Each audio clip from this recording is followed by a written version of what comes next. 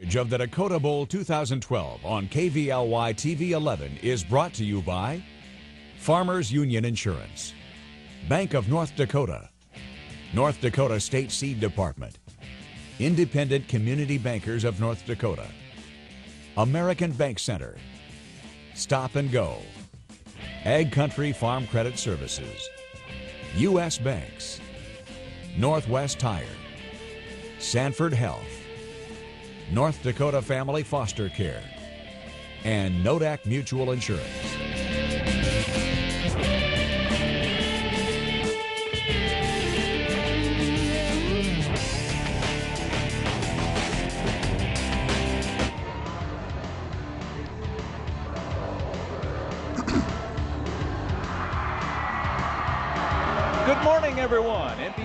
Dakota Sports welcomes you to the Alerus Center in Grand Forks for Dakota Bowl 2012. I'm Lee Timmerman along with Jamal Spencer, bringing you all four state championship games today. And first of all, welcome, Jamal, to your first high school statewide telecast. Well, it's good to be here. Hopefully, we have a great day full of football. Like you said, we got tons of games to call today. And of course, these teams battled all year and battled through the playoffs to get here, the culmination of uh, their high school careers, isn't it? You've got some seniors who've been just trying to get to this moment, some players trying to get back, and some teams here for the very first time. So, like you said, it's just hopefully everybody can go out on the note that they're trying to reach. Well, let's show you what we'll have for you today here at the Dakota Bowl. First game is our Class A championship. And everyone's been wondering when the Bison and the Sioux are going to play. Well, they're going to play today, and they're going to play right now. It's West Hope, Glenburn, Newburg, and uh, and it is the Sioux from West Hope NG, and the Bison from Hazen. And that'll be our first championship game, followed by the nine-man matchup where New Rockford Cheyenne will take on Divide County, the number one and number two ranked teams in the state. Definitely, that's also going to be a good matchup. Last year, you had a very high-scoring nine-man game. Hopefully, you can keep going in the same mode. And this year, going to move into the Class A championship game. You have Shanley and Grafton. These two teams know each other very well. Rematch of last year's state title game. And then the 3A game, you're going to have great Bismarck rivalry. Bismarck Century taking on the Bismarck Demons. And that game, just like you mentioned, the one, pre- uh, one before, a rematch of last year's championship game. Well, Scott Westerberg will be the guy roaming the sidelines for us, and I know he's down there now. Let's find out what he's up to. Scott? Yeah, LT and Jamal, like you guys mentioned, two very different uh, groupings of games. The first two feature teams that weren't here last year. None of the players the first two games have played in a state championship game. WNG here for the first time. Hazen hasn't been here since 2001. New Rockford Cheyenne doesn't have a title, and Divide County hasn't had one since 98. And then in the two late games, we've got rematches, totally different stories. Most, or if not all, those kids were here before, as Grafton and Shanley have a rematch. Grafton won it last year, but Shanley won the regular season matchup. And then the late one, it's the Capital City battle again. Bismarck High versus Century. The Demons won the state title last season. They also won the regular season matchup this season. So those teams obviously very familiar with each other in the double and triple A game. In the A and nine man, well, looks like some new opponents and some uh, fresh faces. So it'll be nice to see a little new blood here in these first couple games, guys. Well, thank you very much, Scott. We look forward to your uh, comments and halftime uh, interviews with the coaches. And Jamal, I think one of the things that's kind of interesting uh, is that, uh, you know, as the Sportscasters and Sports Writers Association, we kind of put the polls and we vote who we think's number one. And, and of course, everybody says that, ah, they don't mean anything, which they don't but people always pay attention to them. That's why we do it. And one of the things I think is interesting today is that three of our four games has the number one ranked team in the end of the regular season against number two. You usually don't see that. And like you said, people looking and go, well, the polls don't mean much. And then this is kind of a situation we can point and go, well, we got it right this time. You know, you see those two best teams, you kind of like to see the cream of the crop rise to the top, and that's what you have this time.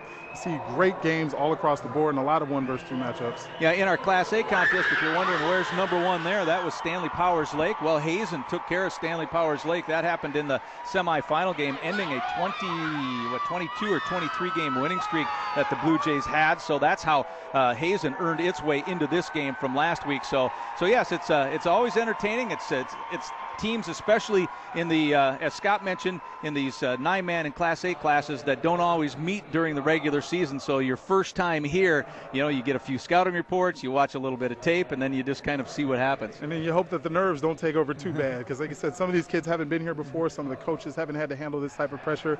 Everyone's excited to be here, though, so that should make it a great atmosphere. It certainly is early to be playing a playing a football game, but Tom Nesvold, the head coach for the the Sioux, said, "Hey, I'm just telling our, our kids that it's not really nine o'clock; it's ten o'clock because of the daylight savings time. And so, hey, we're we're you're used to being up and being in class. Whatever works. Okay, it's time for our public address announcer and today's national anthem.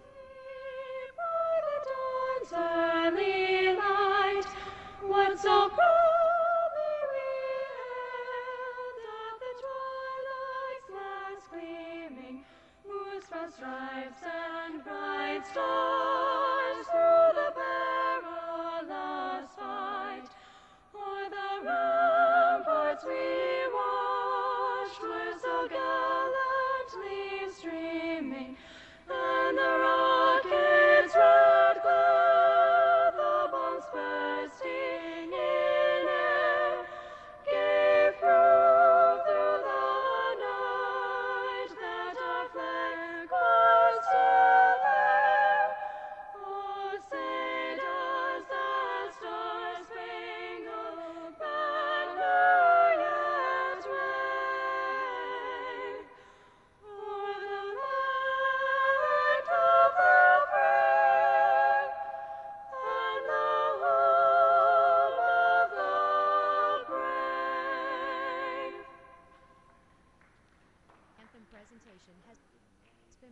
by American Bank Center, member FDIC, your source for banking, investments, trust, and insurance.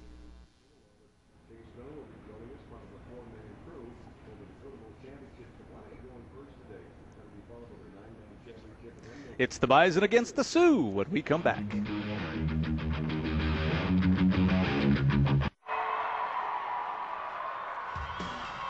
Hazen at 9 and 2, located in coal country, about an hour and 15 minutes northwest of Bismarck. West Hope, uh, Newburg, Glenburn, up in the Minot area, a co-op in the fourth year of this three-town co-op. You see them coming in at eight and four, so the Sioux hot at the right time.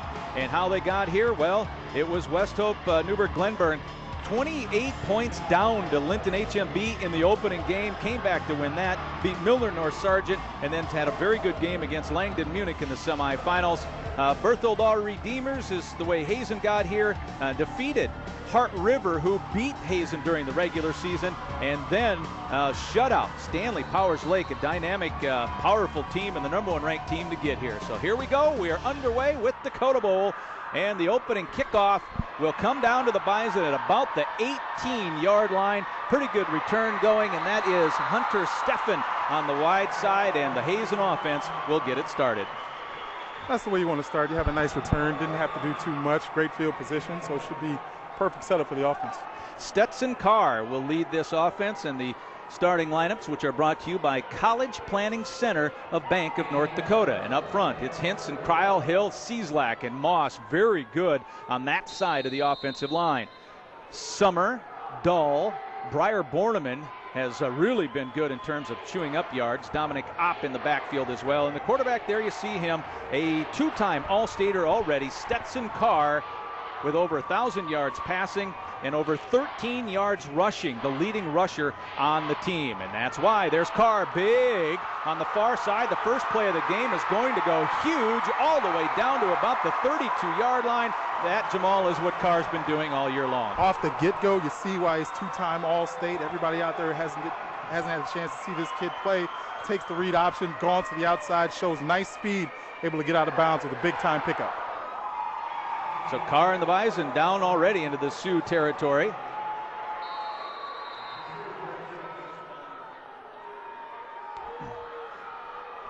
And after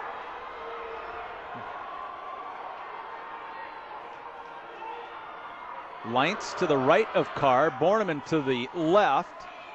And Borneman will have his first carry trying to bounce to the outside. Borneman with a first down. Borneman tripped up at the 15, otherwise he was going in.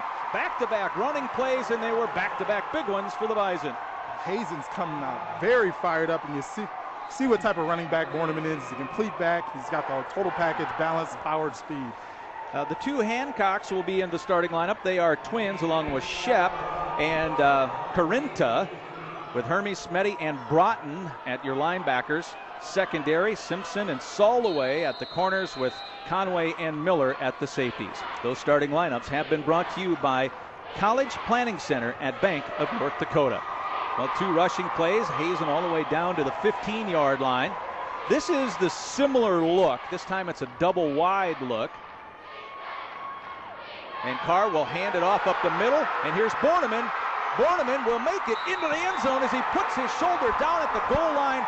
Three rushing plays, and Hazen is into the end zone. And Briar Borneman scores it. That's his 15th rushing touchdown of the year. And that is a bunch when you consider he missed the first five games of the season. Definitely, and he scores them in bunches. He gets multiple touchdowns in the games. Like you said, he missed a bunch of time. You see what type of physical back he is. Earlier, you saw the speed. Here, you see him lower the shoulder, getting into the end zone. Great play. I don't think Hazen could have started any better. Three plays, they're already up six nothing. So Bri- Briar Borneman, the junior, five foot seven, 155. You saw him be a little physical as well. He plays a lot bigger than what the uh, the pounds are beside his name. Hunter Fears will try to tack on the extra points. And he does not. So Hazen takes the lead, six to nothing. And boy, uh, Jamal, you can't start any better than that. Not at all. You come out, you line up, big play right off the bat, another big play, then you're in the end zone before the other team knows what hit you. I don't know if Hazen had that in mind when they started, but right now they got to be feeling good. This is the best start they could hoped for. Well, you you saw when we you know talked about the, the road to the Dakota Bowl here a couple of a couple of those games where you know uh, Stetson Carr and and and company put up you know 50 points against Berthold and put up 41 against Hart River and Hart River at the time was rated number three. So Hazen to to get here, you know, beat the number one ranked team and the number three ranked team, and so uh, that's some pretty good stuff there. Three plays and 66 yards. And of course, it did not take long. at all. And you, you mentioned the offense. The offense moves very well. The defense is something I'm interested in seeing right now. They played very well. Come off that shutout win, 14 nothing over defend, defending champ Stanley Powers Lake. So that's a huge game. So now we get to see what the Hazen defense looks like and what the uh, West Hope Newburg Glenburn offense looks like. Well, it's certainly, you know, we've had a small sample size, but judging by the first three plays we saw, this Sioux offense looks like uh, it's going to need to score some points today. Definitely. I mean, but this this isn't anything new for them. In the playoffs, they've trailed in all three games. Yeah, And that's So- strange, isn't it? Yeah, Very much so. So this is ironically enough familiar position for them. But they're a resilient group, so I got a feeling they'll be bouncing back.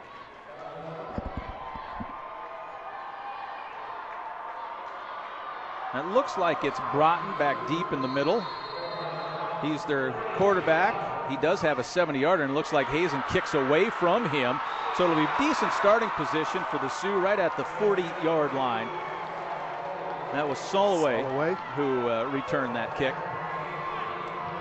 Perfect field position for the for the Sioux. Um, they don't. Hopefully, they don't have to do too much. Today's starting lineups brought to you by College Planning Center at Bank of North Dakota. Up front for West Hope Newburgh, we have Weeks, Shep, Hermes, Smetty, and Corinda. Corinda at the running back. Both of the Hancocks, Soloway, Chase Conway, and Miller. Two freshmen in the starting lineup for West Hope today. And it'll be Broughton on the first carry. He tries to bounce to the outside. A quarterback keeper is only going to gain one, and the edge was not given up on that particular play. Hunter Fears is in there on the tackle. Again, your defensive starting lineups now for Hazen. You just saw one of the guys make that play, Hunter Fears, number three, one of the four linebackers, along with Cieslak, a tackling machine, Demarcus Smith and Berger, Sanders, Moss, and Kryl up front. Dahl, Borneman, Stetson Carr, and Dominic Opp. As good of numbers as Carr has had offensively, he's been about that good or better on the defensive side. And again, those starting lineups brought to you by College Planning Center at Bank of North Dakota. Hunter Broughton, you saw his numbers at over 1,200 yards passing. He'll be his first pass if he can get it off. It's on a roll, and it's a good pass, short of a first down, but it is caught on the wide side by Ethan Miller, one of the tight ends, his 15th catch this year. And Broughton's a big running threat too. You see, he can throw for over 1,200 yards. I believe he's rushed for over 1,200 yards as well. Definitely a dual threat. Very versatile athlete. Should be fun to see him getting on the edge. What type of plays he can make today. not at all uh, surprising to see like in Class A or or in nine man where the, your quarterback is that dual threat and, and has a ton of yards on each side. Yep, yep. Empty backfield. Three receivers set. And it's a first down for Broughton as he just followed the right side. Smetty and Corinta on the right side of that offensive line. When you ask Tom Nesvold about his offensive line, he says, hey, Corinta Number 55's kind of been our leader up there. There you see him right in the middle of your screen. He's a big fella too, so I mean, why not follow the big guy and 265, 6'5", 265, and follow him to the first down. Setting up on that right side with Smetty off off to him. Logan Hermes again is the center. I backfield with the brothers, the twins, and here's the first handoff, and that goes nowhere for Cody.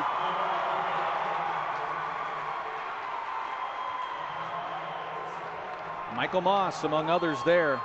Looked like Nate Lentz got in there as well, stuff in the stuff in the run.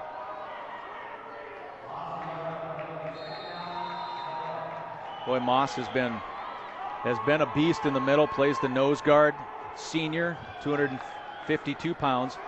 This Hazen team is a relatively young team. In fact, last year was the year Hazen thought that they would get to this game. They were senior, loaded with seniors. They came back and obviously have a bunch of talent. On the handoff, near side, Cody, nothing there. It was second down and 11. And he got back to the line of scrimmage, and it'll be the first third and long as you see Fears, the second leading tackler for Hazen, in on that play. And definitely comes up, makes a lot of plays from the linebacker positions, Fears, and you saw him come in and fill the hole there. The Bison are stuffing the run pretty well. We're going to see how it'll be interesting to see what the Sioux can do to counter that. Now you're going on third and long. You're going to see him pass the ball here. We'll see what the vertical game looks like. That's Miller going wide to the left. That's the top of your screen. Cody in the slot. Broughton straight back, looks near side, has it complete to his freshman Conway. Chase's 16th catch of the year will pick up a first down on third and long. Nice play. Great touch on the ball. He saw him fall back in the soft zone, and he's going to loft it just over the coverage, right into his receiver's hands. Great timing play, great touch on the ball. Really nice throw.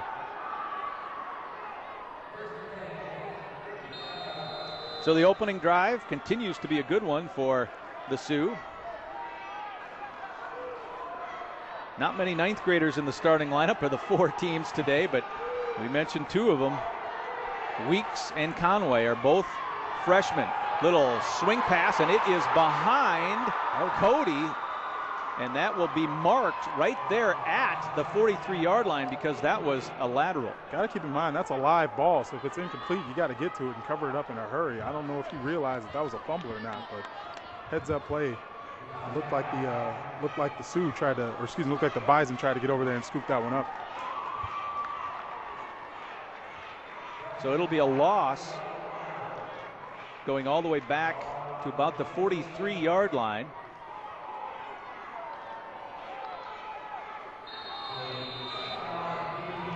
Second down, 15 yards. Looking like a passing situation for Broughton, and it is. Hunter looking. He is being followed hard, gets the pass away, but there were some green jerseys all around him, and that pass was intended for Tyler Simpson, a senior. That play blew up in a hurry. They got great penetration. You see, they've been getting a push up front so far this whole drive. They've stuffed the run, and now they're getting after him when he drops back to pass. So this front four is really playing well.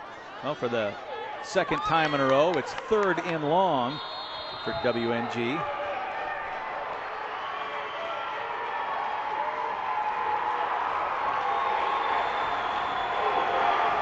Picked up the last one with a pass to Conway. Let's see what Tom Nesvold and his coaching staff come up with here. Inside handoff, ball on the turf. It's still loose. It's going nowhere. Still, now they're calling it down, even though the ball squirted away at midfield. It was an inside handoff intended for Conway, the tight end, and that uh, exchange just didn't seem to happen, did it? No, it wasn't very clean. Kind of bobbled it, but then, you know, give credit to Seth Kryl. He got in there. He blew that play up very well kind of forced the issue a little bit. You see the white hat coming in there to, to mark it the play dead. So it's fourth down, punting situation. Borneman very, very dangerous in that regard. He is back.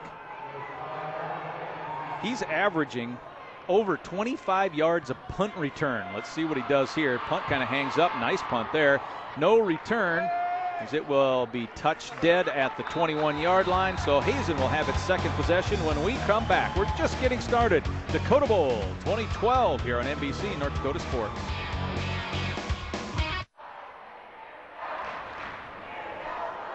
The officiating crew, uh, many of these guys are based out of the Valley City area. Todd Christensen, Brian Yanish, Kirk Olson, Tyler Vanderbruggen and eh, Van Bruggen and Dave Carlsrud, who used to work at the Activities Association, working this game. Second possession for Hazen. First one could not have gone any better. Carr on a keeper, our first flag of the day.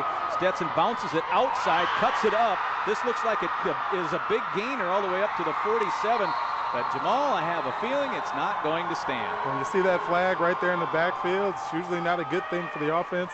Illegal motion, this one's coming back even though the play doesn't work or or it doesn't stand as you as you as you said, it still worked.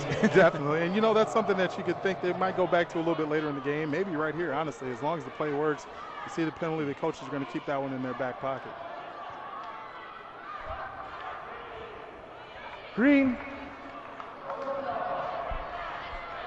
It'll be a first down and 15.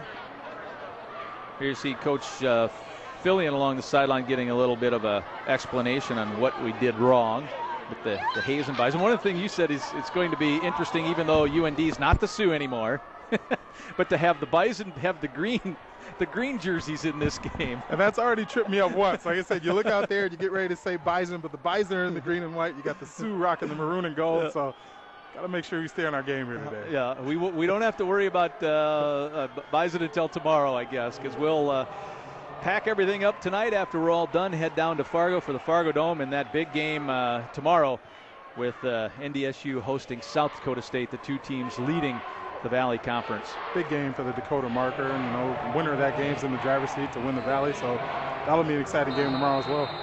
Well, the first penalty, you know, it only goes down in, as a five-yarder, but if you if you count 50 back to the 18, it ends up uh, being a, a big uh, reversal for Hazen as Borneman tries to pop it back outside. He does, showing some pretty good hips, trying to stay on his feet. And uh, that's a lot of work for about a four-yard gain, but Borneman does not go down easy. Shows great balance. Sometimes you got to know when to when to hit the deck and get down and try not to make too much happen. But I think he got his helmet ripped off on that one, so he might have a face mask penalty here. Farmers Union Insurance Instant Replay. Breyer, I mentioned uh, off the top or earlier that he did uh, miss the first five games of the season. So when you figure that that he has, there's a flag on the play by the way, but he has over eight, 800 yards rushing, you know, and mm-hmm. 14 now, 15 touchdowns. That's pretty good work. Definitely, definitely. Like I said, he's a, a great back. You, you see the First down. You see the strength, you see the balance, and you saw the speed on the, on the first drive. You saw once he gets to the outside what he can do. He's able to lower the shoulder, get into the end zone. He's an all-around back, so going forward, I'm sure they'll be feeding him. The penalty on the play was a personal foul face mask, so it will move the ball all the way up to the 36 yard line, and it will be a first down for Stetson Carr and company. Getting all that yardage back after they had the first busted player on the penalty, so should, looks like it didn't hurt him too bad. Yeah, Rick Fillion in his 10th year as the head coach at Hazen just simply says number seven Stetson Carr, one of the best players that we've ever had here. And there's Carr directing the offense. And he will keep it on the read option. Carr with a first down and more. He's across midfield and finally gets corralled at about the 45 of the Sioux. And uh, I think it was Smetty that made the tackle, but another first down, and Hazen has found something they like in the running game. Great vision, and that read option seems to be there for Stetson Carr, and he's able to make that decision every time. You see, like I said, he is a two-time state champion. You trust he's going to, two-time All-State, rather. You're going to trust he's going to make the right decision here in these plays. Even though it's his first time in the state championship game, he's playing up to the moment right now. Well, they mark it at the 44. Stetson has a brother, Bailey, on the roster uh, here at UND playing safety. Cieslak and Moss getting it done on the inside, and they go their side again. And this time Borneman with another first down. He's up to the 30 with a little stop and go, and he's going to stop there at the 30. A late flag comes flying in as well, and I think we got another face mask. Another face mask. And I was thinking he, he doesn't want to go out of bounds. He's looking for contact. He's not worried about going out of bounds, and he makes something happen, picks up a face mask, more free yards. And there is a flag at the end yep, 15 yarder. Yep. Plus, So- watch the end of the play, and when you were talking about Jamal, the way he jukes and jives, you, you're just trying to grab anything, so it's not unusual probably to get a hand on a face mask. No, I, you know the Sioux just like you said, reaching out, trying to grab some jersey, trying to get whatever they can on the guy, and he's so shifty that you know twice on this drive they've reached out, and they've got a handful of helmet. So 30 yards of this drive so far. Penalty yards. We're up to the 17. And just like that, Hazen's back in the red zone again.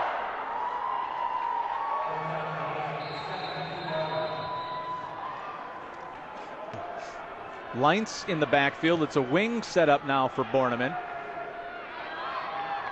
And Carr hands to Borneman. Running right side, busting forward, still on his feet inside the five. No, they'll mark him out at the six. Unbelievable balance. I lost count of how many tackles he broke there. Great job staying on his feet, making something happen. But you can see why Hazen's objective on the offense is to get number one in some space. And he's giving the Sioux fits in space. And, you know, like they've already picked up the personal foul penalties with the face mask, and now he's making a miss, and he's a very shifty back. Now we're first and goal from the six yard line. The first touchdown was a 15 yard run by Borneman. Leinz, the fullback, will lead the way for Borneman again. This time he's corralled in the backfield, and WNG with some pretty good penetration. I think Broughton was one of the guys that got back through there first. The Sioux defense needs a play like that. They've been getting beat to the edge, and you're going to try to go up the middle. They have to be physical there. As, as you saw, they plugged the middle very well.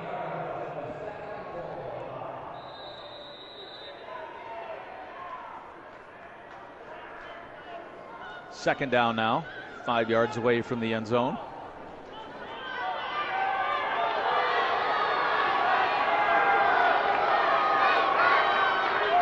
Carr from the pistol. And he'll keep it. Carr up the middle, five yard touchdown.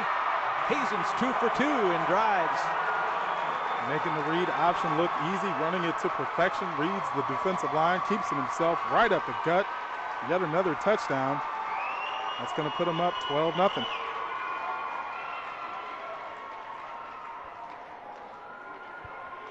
That's pretty good. Uh, that's pretty good hole right in the middle. Oh, that, yeah. That deep, isn't it? Oh, yeah, it's easy to make a read when you can see the, the sea parting in front of you and the offensive line opens up a gap like that one.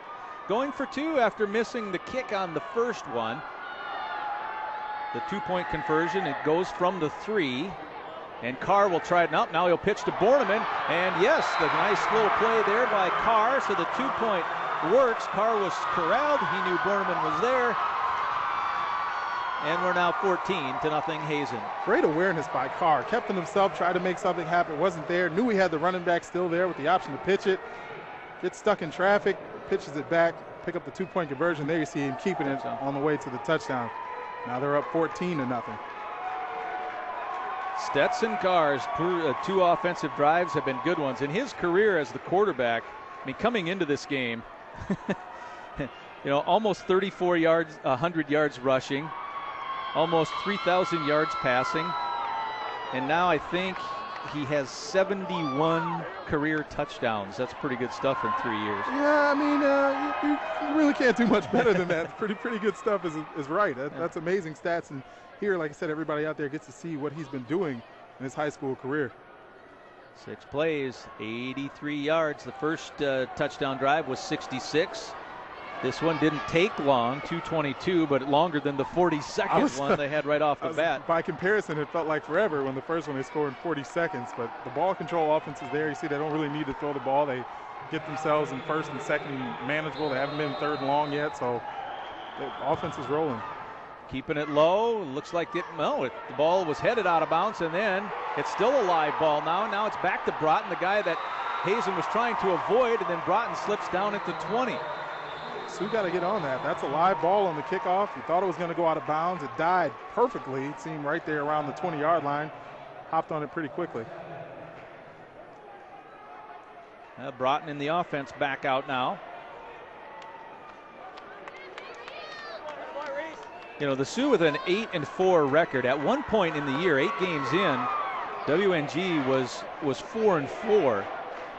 then it won their last game of the regular season, and then of course the first three here of the playoffs. So obviously it took a little while for this group to come together as a team, but when it did, it certainly has been good. And you saw with the with their playoff run so far, looking back to pass here. Here's Broughton with the throw to the far wide side. That is Ethan Miller. Miller got about half the distance needed for the first down. And you saw with their playoff run how they've been able to gel as a team with the come from behind wins that they've had. You know they come together, they play for each other, they play very well. They've got tons of heart. So it's a, no matter what the score is, they're going to come out here, they're going to play hard until the final whistle blows. Little square out, little out, five yard out pattern there to Miller. There's Miller going wide once again. He Big- is a junior. Big target at 6'4. You got a feeling that they're going to take a shot with him a little bit down the field and some vertical routes later on. Broughton looking to pass once again. And he'll tuck it, try to get what he can, muscles his way near the first down marker. Needs to get to the 30.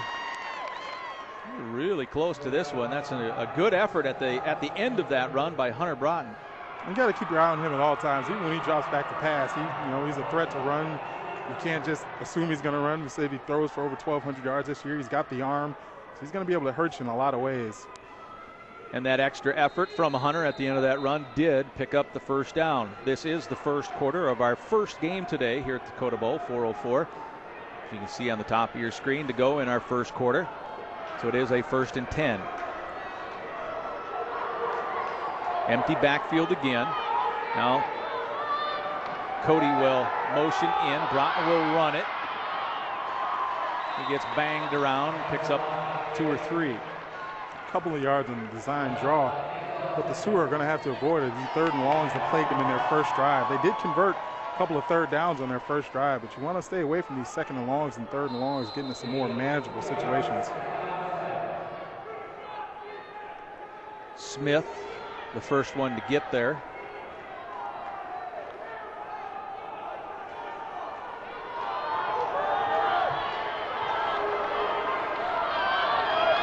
Third and seven.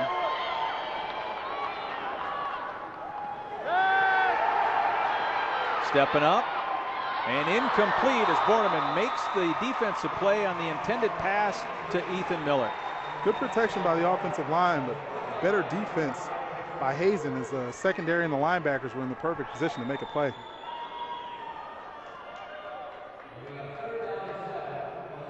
Had a chance, but Borneman took it away. It's a great play. Borneman had an interception last week against Stanley Powers Lake, shutting out Stanley Powers Lake. Boy, that was something. I think that, that raised a lot of eyebrows around the state. They got a little help in the opening drive. The Blue Jays were marching deep into Hazen's own zone, and then a, a, a turnover at that point kept him out. Third down and seven now. Broughton will try to run for it, and he picks it up again. Oh. With space at midfield. The ball is loose. It looks like the are the closest ones there, and WNG covers it up, gets the break after the nice run from Broughton. Dodged the bullet. Broughton with some very nice moves, gets himself out into space, makes a lot happen. Fortunately, puts the ball on the turf, but like you just said, Sioux with the awareness to fall on that one. and They get the first down, moving the ball down the field. Who punched that one out? Borum, no, not No, was it uh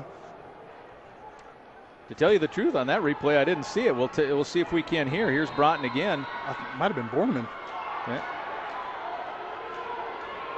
See if number, number, one. number one comes in. Yep, Yep.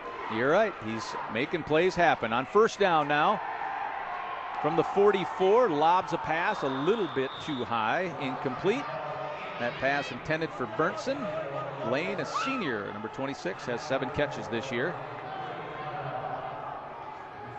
Second down coming. Connor Dahl on the coverage. Connor led his team in the defensive category called knockdown. Loves getting to the quarterback, loves making things happen, loves uh loves putting somebody on the ground. Inside to the near side, Soloway. Here comes a flag. Carr comes up and makes the tackle. Flag on the play, lost a couple on it. That play got blown up right away. There wasn't much inside. They tried to run it, but there was penetration from the tackles. Wasn't much there. Another flag on the play. Looks like holding. Farmers Union Insurance replay. See if we can pick up the hold. A little block in the back, Back, there. could be. Nice tackle. Well, Carr has been outstanding. Leads the team in tackles. And you mentioned that. You're going to see a lot of that. Class A, where the quarterback is also a big time playmaker on defense, and the running backs are a free range linebacker, a lot of big time two way players at Class A and at nine man. If they caught the block in the back, that was the call. It's actually administered, if I'm not mistaken, like a hold on the high school side where it's 10 yards from the spot. Second down and a long way. the first down markers all the way at the Hazen 35. The ball from their own 43. Broughton looking to try to get a screen set up. The pass is complete to Carly Hancock, but he lost yards on the play, and the Hazen defense uh, continues to look good. But what a story right there, number 30, Carly Hancock. Yeah, Carly Hancock, his coach, Tom Nesvold, says he's the heart of the team. He's suffering from fibromyalgia, chronic muscle pain, and he's had that for the last two years. He's playing through pain that his coach says just isn't normal. So his teammates are, you know, rallying behind him, and he's definitely an inspiration to his team. And there's one of the two senior twins. And, and Coach Nesvold said, well, at least they're not identical twins. Thank God on that. well, we're third down in a mile. Pass Oh. incomplete. So a punt is coming. And after that really nice run from Broughton and then the fortunate break for the Sioux to recover the fumble, it was nothing but backwards from that point on for WNG, thanks to uh, Borneman and company on the defensive uh, defensive stand, I guess you'd call it. Yep, you kind of hate to see that from the Sioux. They put themselves in a great position. They got a nice long run, starting to feel some momentum on the offensive side of the ball. You have the fumble, then you got the penalty, then you know, negative yardage play. So going backwards, but they've got to figure out a way to sustain their offensive drives. I know Broughton has done a lot of the punting this year, but here is Carly with the punt. Fair catch made at the 28 by Borneman, and that has to has to kill that kid not to be able to run, not to be able to run it. Yeah, you know he's trying to make something happen. That was a great punt, though. Carly does it all. Now this will be the third possession for Hazen. The first two, well, ended up in the end zone. 40 seconds, and what was it, two minutes, 22 222, seconds? yeah. Yeah, watch out, they can break the long play at any time. The read option, they've been running that very well for big yardage. I wouldn't surprise me to see it over and over and over again on this drive. And to be totally honest, Hazen's had no reason to even think about passing yet. Exactly. Have they? Exactly. I don't. I don't think I've seen an attempt, and there really is no need as long as your bread and butter's working. Fake to Opp, handoff to Borneman. He jumps over a couple. Oh. Takes a really nice shot. And Borneman is going to get up and readjust his chin strap, shake his head because he got drilled at the end of this run. You got to buckle that up tight. This is a big time hit coming here. Breaks a couple of tackles again. Number one just lowers the shoulder. Well, that's one of the Hancock Yep. twins. Cody Hancock, the senior. And that'll bring Borneman to the sideline in a couple of Are You Right? You know what day it is? Do you know where you are? Oof. Hope he's all right. And no matter what he says, that picture probably is more of an indication of how he feels, and no doubt about that. Exactly.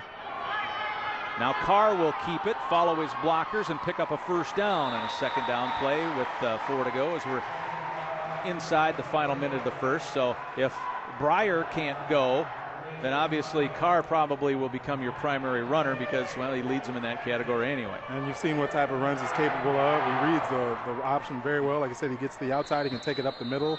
Offensive line has been opening holes, so I'm, I'm sure he has no problem toting the load. Yeah, Carr's got 23 touchdowns this year, combined passing and rushing. So the clock starts now after the chain is set. Let's see what Carr does here on a first and 10. And he passes it for the first time, and it's caught by Opp up to the Sioux 41 yard line.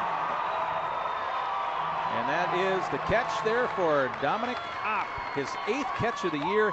He's averaging 22 yards of reception coming in, so when he catches it, it's usually a big play. He's always moving the chains, and he gets open down the seam there for the big time play. So there's that first pass that we talked about. And I think that has a direct reflection of number one not being in for that particular play. Exactly. Looks like he's still trying to gather himself over there.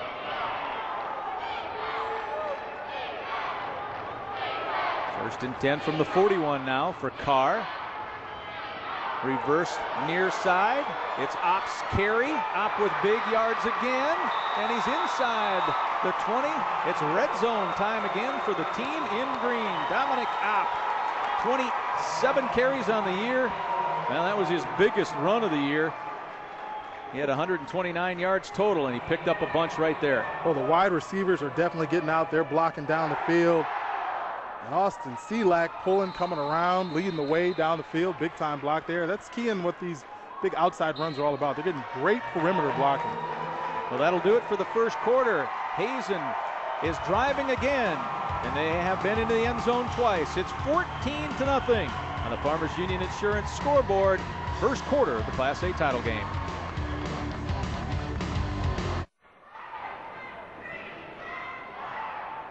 Yeah, guys, uh, I was watching on the sidelines as Briar Borneman came over. He took his helmet off, kind of knelt down.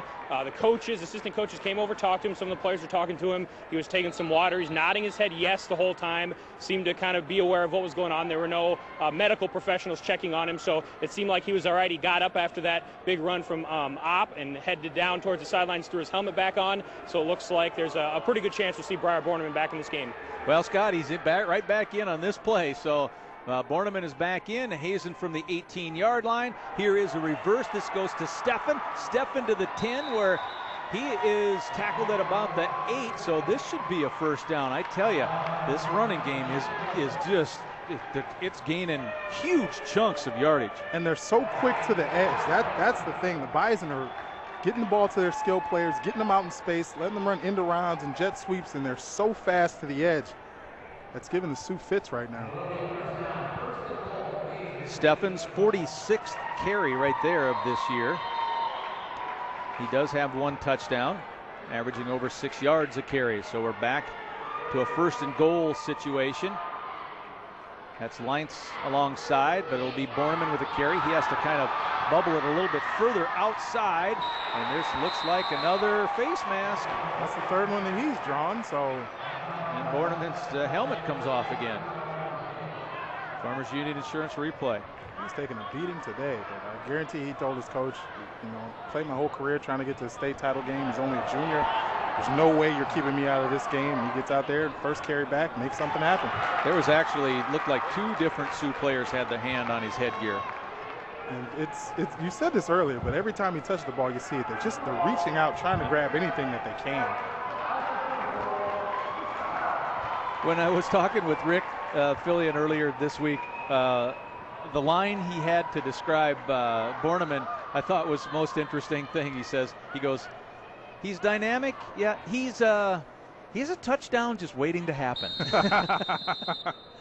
And you you can see it when he touches the ball. If you're not careful, he's going to break one. So the penalty moves the ball half the distance up to the, uh, moved it not quite half the distance, it's up to the five. And Carr has it. No, Borneman does. It doesn't matter. It's into the end zone. That's the third touchdown. Borneman's second of the game, his second uh, TD. This one from five. The last one came from five, and it came from Carr. And it's three drives, three touchdowns by Hazen. And the personal foul set up touchdowns on all three drives. See that one, like I said, didn't move the ball that far, but definitely gave him free yardage. Another touchdown for the big fella. Early second quarter.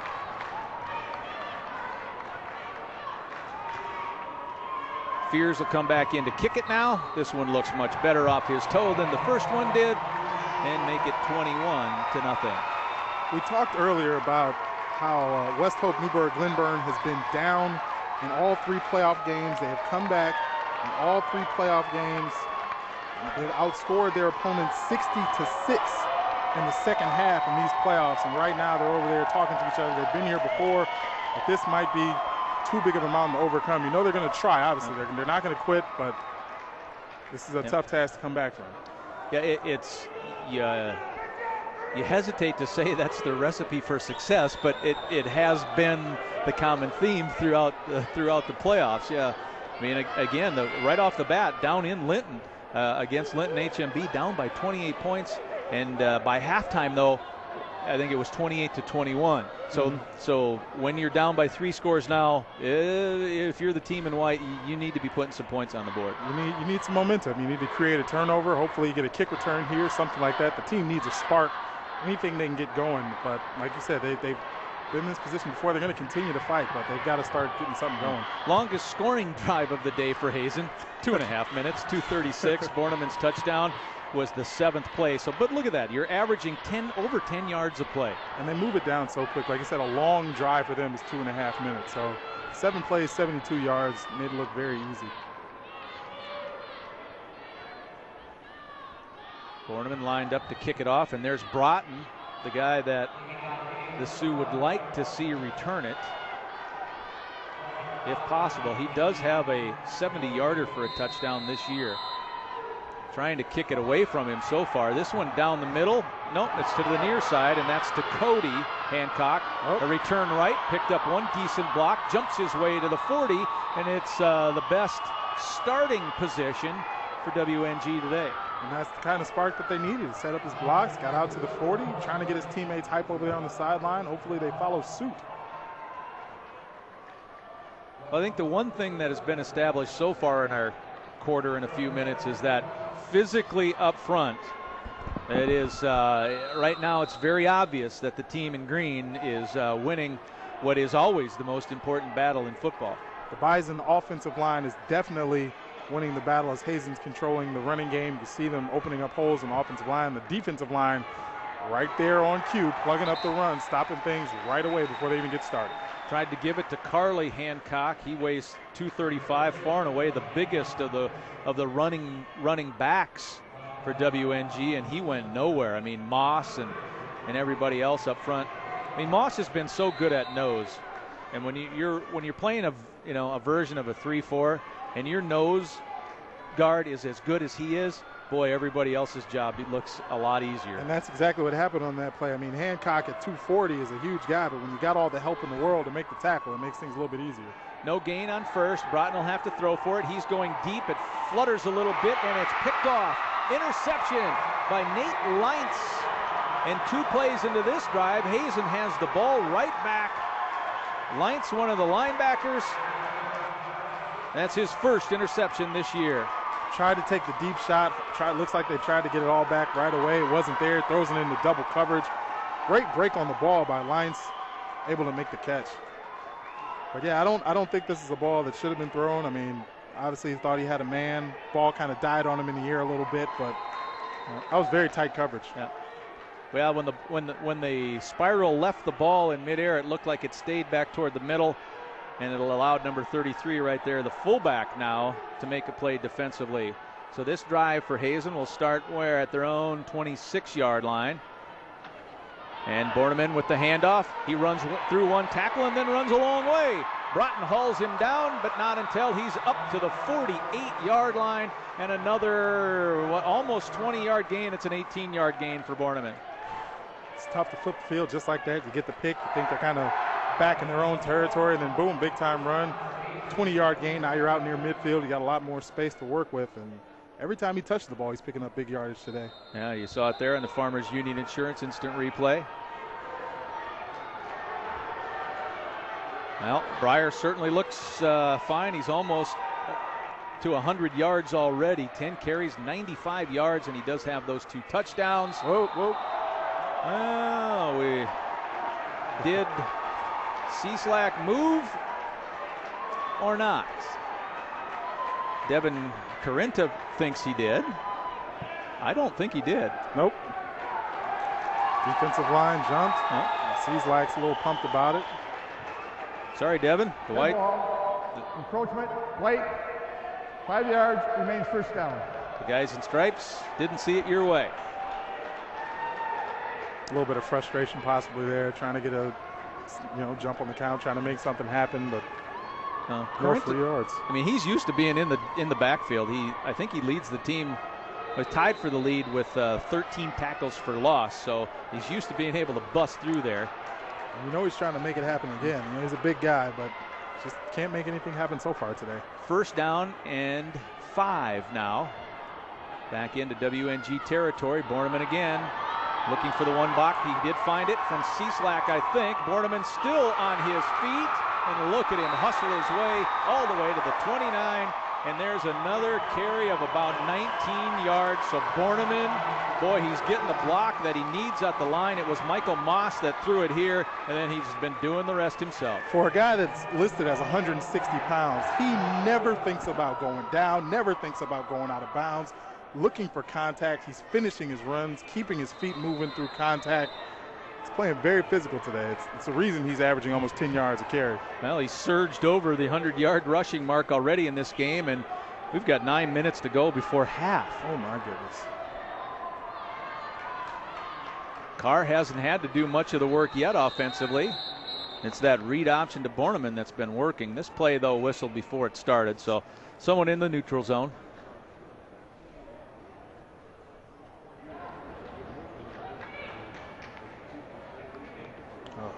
Offense. Uh, false start, maybe?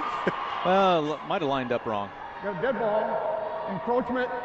White remains first down. Yeah, in high school they'll blow that they'll blow that dead, and, and you don't get to snap it if you're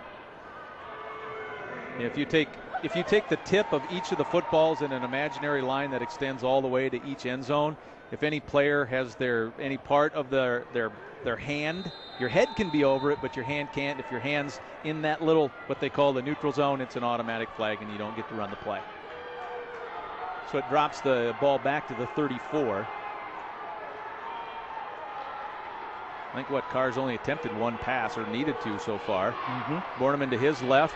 Oh, there's the play that's worked. Borneman finds a little seam up front. We see a flag. I'm going to guess the holding territory. Moving back again. And this drive, Hazen stopping itself with a couple of penalties.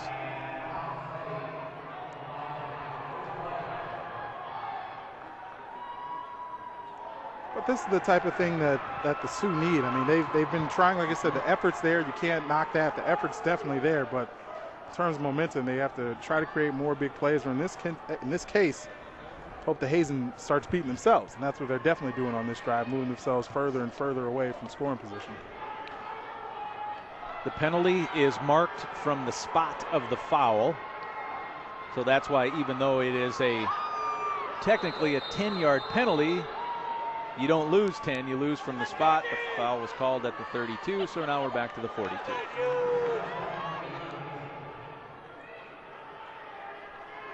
But it is first down, And long. first and 23. Let's see if Carl want to put it up here. He'll send on motion to empties. Fake to the right, looking back left. Carr still looking deep. Can Borneman make a play on the ball? He does. Keeps himself and his feet inbounds. He's up to the what the 16 yard line. Who else would it be? I mean, first and 23, you need a big play. The original play wasn't there. You saw him pump fake. He looked left. His receiver's not there. Great defensive pressure by the Sioux. They burst through the line, but Carr just makes something happen again. That's a tough throw too across his body like that. Mhm. Borneman dragging the toes. Well, first and 23. Yeah, no problem. We'll pick up 27. Man, And now, like like you were talking, Jamal, you know, uh, WNG's thinking, hey, maybe we stopped a little momentum. One play later, we're back into the red zone. exactly. And that, that's the heartbreaker. You're thinking you got something going on defense, starting to build a little confidence, and give up a big play right away. Borneman to Carr's right. Option play near side. The pitch to Borneman. He's looking for the block. He's got a pretty good block downfield. Muscles and dives his way to the two. Excellent block on the on the wide side. Who was that? That was Car- Dahl, I think. Connor Dahl, yeah, and that and that's the type of blocking they've been getting on the edge, on the perimeter, the wide receivers, and even the linemen who are pulling. They're getting great blocking the entire first half out there on the edge. You saw him hold this block and sustain it. Way to keep his feet moving. That's a great block. That's a perfect uh, replay of it there. Brought to you by Farmers Union Insurance. See another look. Perfect pitch. Good stiff arm. Sound fundamental football. Well, Borneman has two touchdowns. Carr has one sandwiched in between those two. Let's see what Hazen does here on first and goal. Carr touchdown. They're calling it a three yarder. And Hazen's back on the board. So it was Borneman, then Carr, then Borneman, and now Carr again. And it's 27 to nothing. And just like that, like we mentioned, you thought you had to stop a couple big time plays. There's a penalty on the play, though. Flag on this one. And it's unsportsmanlike. So the touchdown certainly stays on the board. Let's see if we can see what the penalty is here.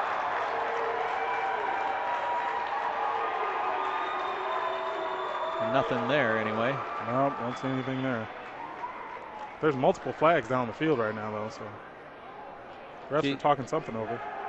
Well, you see Cieslak getting in there. Where the right side of the Hazen offensive line has been outstanding. all game long. They're probably the reason why you don't need to pass the ball off. Mm-hmm. Just keep running that side. Now Carr's getting the explanation, and there's obviously choices, choices to make on this. We have two unsportsmanlike conduct penalties on White. Both on number 55. He's ejected from the game. Uh-oh. Wow. That's Devin Carenta, whose Dakota Bowl is over. And you hate to see that. I mean, you, know, this isn't. He, he's he's upset. Obviously, you don't want to let your emotions get the best of you. You're down 27 nothing. You're trying to keep your head. You never want to see a kid make a mistake. Hopefully, something that wasn't malicious in intent. But uh, yeah, his his day is done. Now the head referee will come over to uh, to Coach Nesvold and explain uh, exactly what happened. Tom, in his 16th year as the head coach, there he is. 22 total years of coaching. Um, this is only the second year that WNG has been an 11-man program, and next year the numbers will drop to where uh, it'll go back to nine-man for the Sioux. Yep, and then, and then it's an impressive run. Obviously, if you've only been here for two years, you make it to the title game. You can hang your hat on that, regardless of the outcome of the game, before you go back to nine man. So it was a great run for them, but uh, things aren't going the way they expected today. I don't think.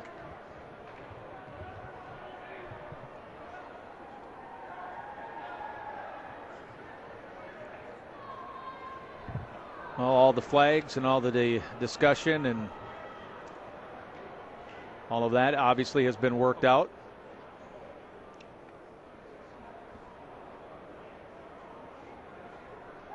And so the two penalties, which are both dead ball penalties, will move it half the distance to the goal twice. So now the ball is about a foot away from the goal line. And when you only got a foot to go, Going for it. You'll go for the two. I'm guessing Carr's going to sneak in on the right side. Let's just see what happens. Uh, straight ahead. Second effort gets him in. The, the two point there. Didn't need much more than the foot, and that's all he got. But it's two more points, and it's 29 to nothing. Hazen is out in front and looking good in the Class A title game on the Farmers Union Insurance scoreboard, 29 zip.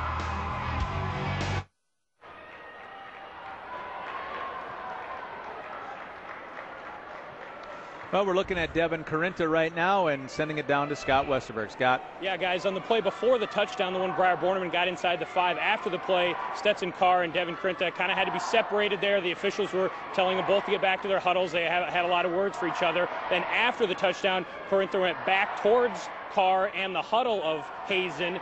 You know, completely leaving his own team and going after them. The official then threw the flags there and removed Carenta from the game. So a couple different plays there. Those two were kind of exchanging words and, and had to be uh, separated from each other. all right, thank you, Scott. And of course, Carenta separated from the game, unfortunately for him. And as Jamal pointed out, is uh, his senior season.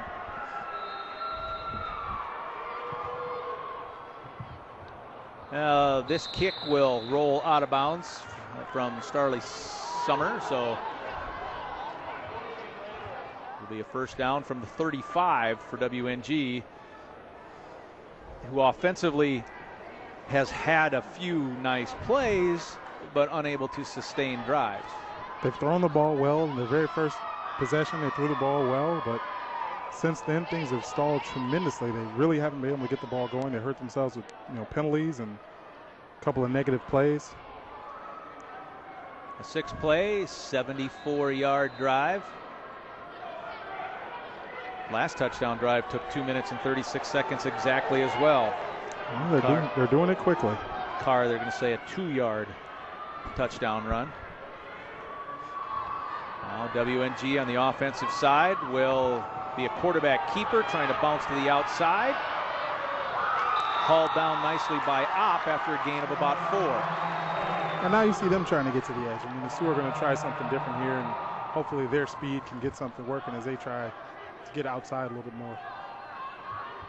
Well, I think for many of the you know reasons and people we've talked about, uh, you know, with with Hazen being inside, you know, Kryl and Moss and you know Sanders on the defensive side, but uh, the in the interior part is not much there for WNG. No. So the edge is about the only way you can go. Broughton on the option. The He'll pitch it out. Cody has it now. The first down and more Oh, as Cody Hancock puts his shoulder down and gets into Hazen territory. second big time physical play today by Cody Hancock. You saw him deliver the big hit on defense, and now he's going to deliver the big hit on offense. Takes the pitch, picks up as many yards as possible, and puts his shoulder down big time. Whew. Gets up, has a little bit to say about it, too. well, it was Summer, I think, who uh, threw himself in front of Hancock, but he did stop him. You can't say he didn't make the he didn't make the play. He True, did. true. He just didn't get the best of it. well, from the 48, but a flag. Tell you, this first half has taken a while. It, it definitely has. Tons of penalties. Motion. Sioux hurting themselves yet again. You get a big time play. Like I said, your momentum's picking up. You start feeling good, and then set yourself back a couple of yards. But yeah, there's there's been hasn't exactly been a mistake free half of football. No, not at all. But it does drop it back into WNG territory. They're 47. West Hope, Newburg, Glenburn. Fourth year of this co op on the football side. Broughton after the fake will try to set up the screen, and he does. It's Cody Hancock looking for a block. He cuts past a couple of defenders and all the way up to about the 43. Good, great read. Hancock was outnumbered there. He looks up. He sees he's got three Bison defenders in front of him. Cuts it back inside. Nice vision. I like this move coming up right there. Yep. Slam on the brakes. Let him run by you. Pick up some more yards. Great cut. Need more plays like that. And I know that, like I said, they're they're they're trying to get to the outside as you mentioned because there's nothing in the middle. So the screen passes and the sweeps and the bubble screens wouldn't surprise me to see a lot more of that going forward. 10 yard pickup on first down, second and five.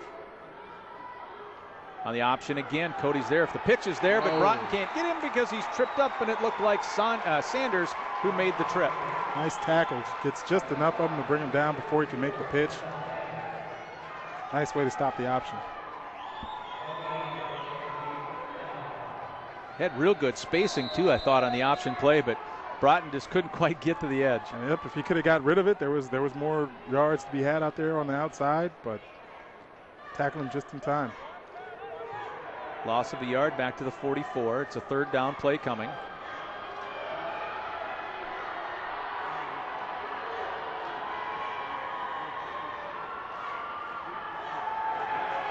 Broughton throwing right, and it is caught, and it's a first down, and that's Soloway. Move the chains yet again. Nice throw, pitch and catch on the sideline. Nice out route.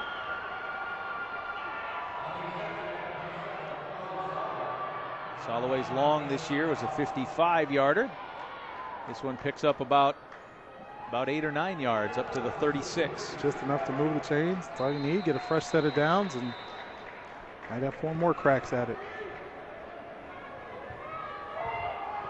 Nate Leintz checks in at a linebacker position. It was Leintz who had the interception the last time WNG had the ball. picked it off at about the 30, which led to the long touchdown drive. Broughton with a fake, drops it to the outside. Oh, there's a couple of people there. The two number ones meet. And it also looks like Opp was there to help out on the hit, but Cody Hancock made the. Here, Uh, here comes the flag. It looks like Hancock got up talking, and the official threw the flag. Unsportsmanlike conduct. It looks like. yep, here comes another unsportsmanlike. Yep, it was a big time hit. Hancock got up, let him know I'm okay. You didn't hurt me, and the official thought that was too much talking. And yet again, a great play by the Sioux, and they're going backwards after more penalties.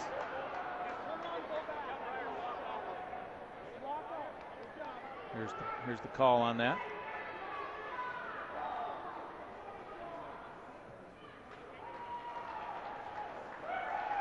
There have been a lot of 15 yard penalties in this game already. Most definitely, most definitely. It was a big time play, and that, that's that's to be expected in football. I mean, helmets crashing, you know, pads smacking, kids are going to get up talking. You know, it just didn't seem like anything too bad, and the official wanted to squash it, nip it in the bud. It looked like.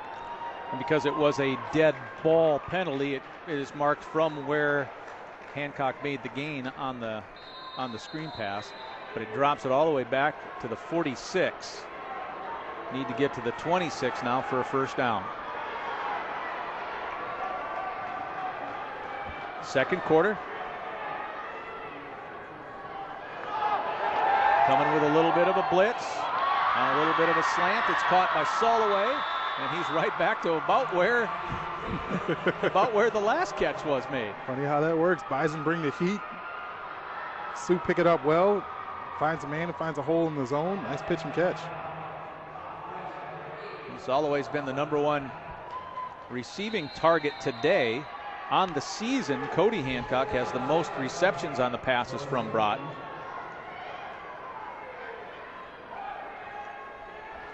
I mean, Broughton was excellent after in the Linton HMB game after falling behind 28 to nothing.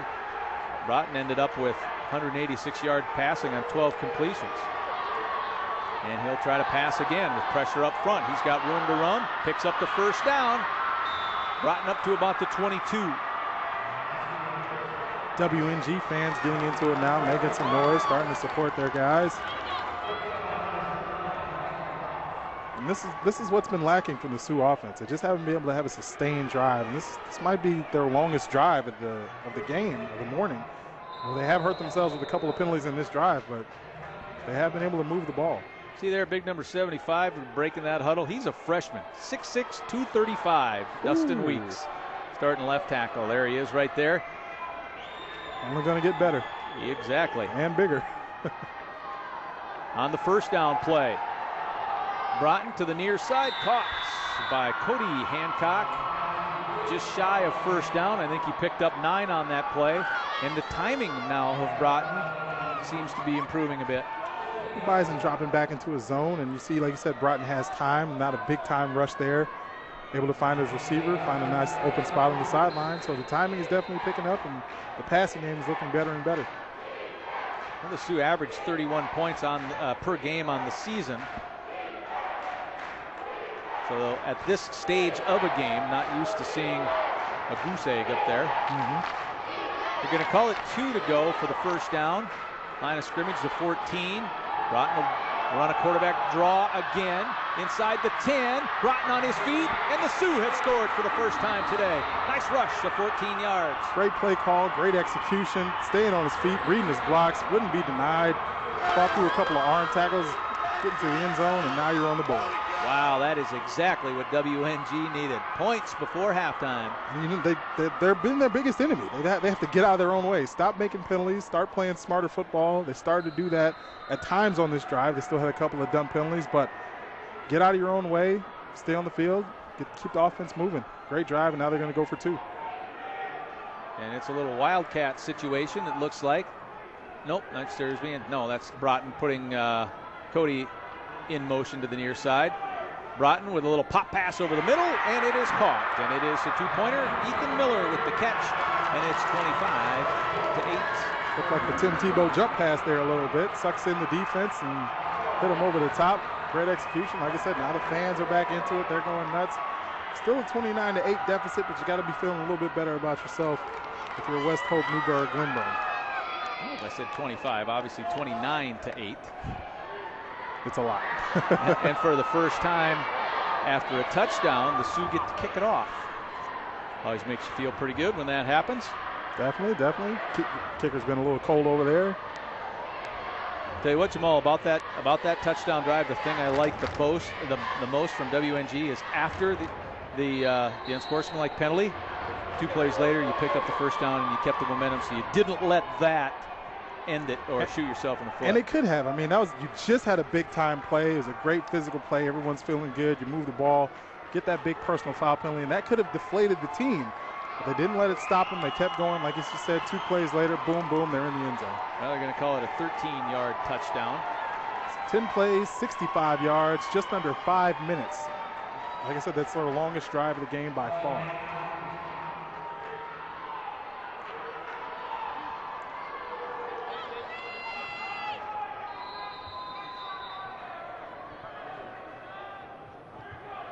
Onside. And out of bounds at the 40. That's where Hazen will take it. I like I like the thought. I like the uh, the go for it attitude and the mentality of hey we're down. Let's give it a try. Might as well, because you, you would have picked that up, you're in great position to get another score before the half. Now you trust it to your defense. They haven't been able to stop the Bison so far, but after that, you know, offensive drive, perhaps they've got some newfound momentum, some some newfound attitude. Hazen finds itself 51 yards away from the end zone. Stetson Carr, the senior. Coach Fillion says he has full reign to change any play at any time if he comes to the line. Hasn't had to change much. It's been working. Here comes Borneman again near side on the sweep. Somebody got onto his hips right there, and that was uh, Hermes. Yep, Logan Hermes, senior outside linebacker, and that's that's something you haven't been able to see much today. Somebody tackling him on the first try. Now able to get away there. Great tackle by Hermes. But Borneman always going forward, or trying to anyway, still picked up about four yards on the play, second down and six.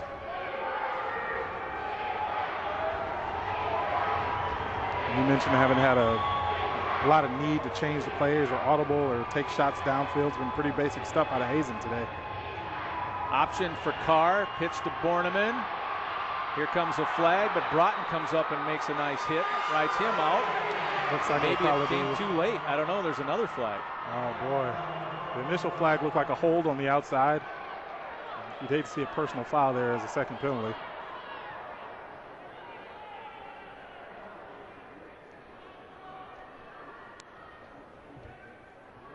Officials talking this one over. Well, I know we call it the Dakota Bowl, but it's been kind of flag fest so far today, hasn't it? It, has been for sure. it has been for sure. I, I've definitely lost count. There's been tons of penalties on both sides. You know, we had, already had a player ejected from this one, so like I said, it hasn't exactly been the cleanest half of football. There's the first flag. There, face mask again. Oh, Wow. on the offense. Hey.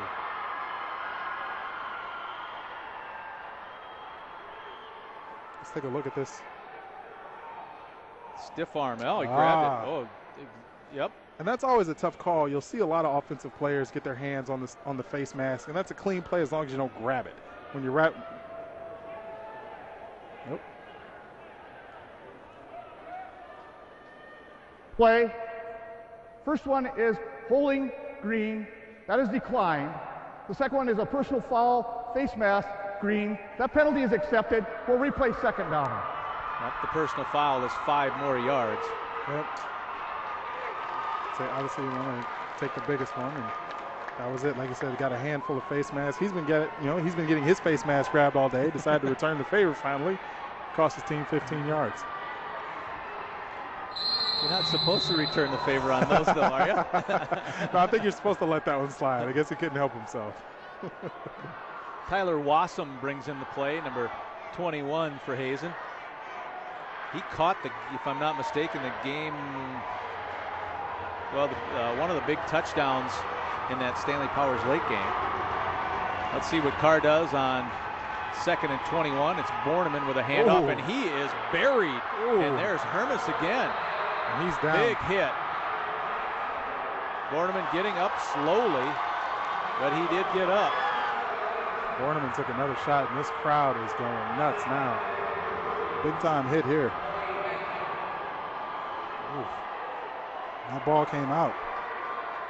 I didn't even see the ball come out. Yeah, that ball came out. And so it's offense here for WNG. Tell you what, I was I was looking at the hit so much that I didn't realize that the ball flew out of there. That's the type of play you need right before a half. Looks like someone's going to come and call timeout here. Uh, there's 203. Uh, they're looking at uh, an equipment setup on the Hazen side. Gotcha. But th- these are the momentum plays that that WNG's been lacking. You get the big time hit, you get the fumble, you force something. Now you got the ball back, ready to make another play. Hermes with the hit, the fumble. Cody gets the edge. And all the way down to about the 22, 23 yard line. Now, now they're going to say one out at the 24. That is trying to take advantage of a momentum play. Definitely. If you can get a touchdown here, another two point conversion, you are right back in this game. Considering how much Hazen has dominated the first half, that would be a great place for WNG to find itself. That'd be an accomplishment at this point. It really would be.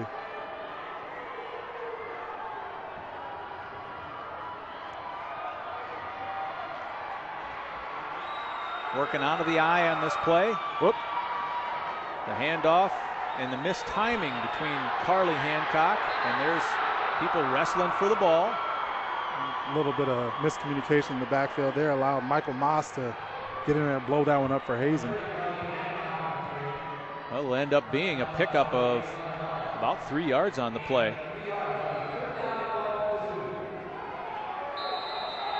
He just Hancock just kept going and going and going, and then moved the pile all by himself. Kept moving the feet. Physical run. Third and one. And Coach Nesvold taking a timeout. So the Sioux definitely want to make sure that everyone's on the same page with a minute 22 to play before the half. Most important play of the half for them for sure. You want to pick up the first down here. Obviously, you know if they don't get it, as long as they don't set themselves back too far, they're going to go for it again. So you're in two down territory right now. But uh, yeah, want to make sure you get this play call right. This is the first of three in a row that we will have for you on NBC North Dakota Sports and a little bit of a break before the AAA game. Nine man contest is coming up next. That's Divide County against New Rockford Cheyenne. As we mentioned, number one team and the number two team, both unbeaten.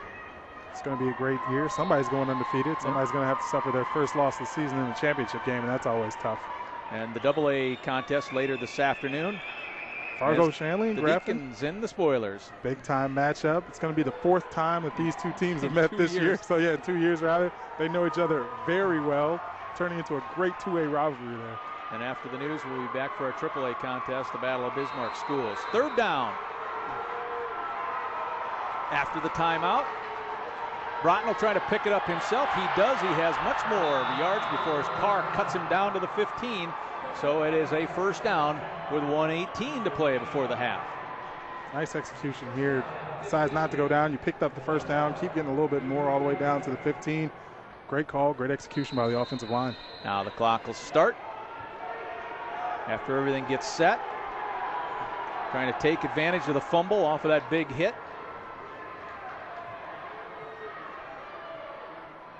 Broughton looks over the middle, and it is incomplete.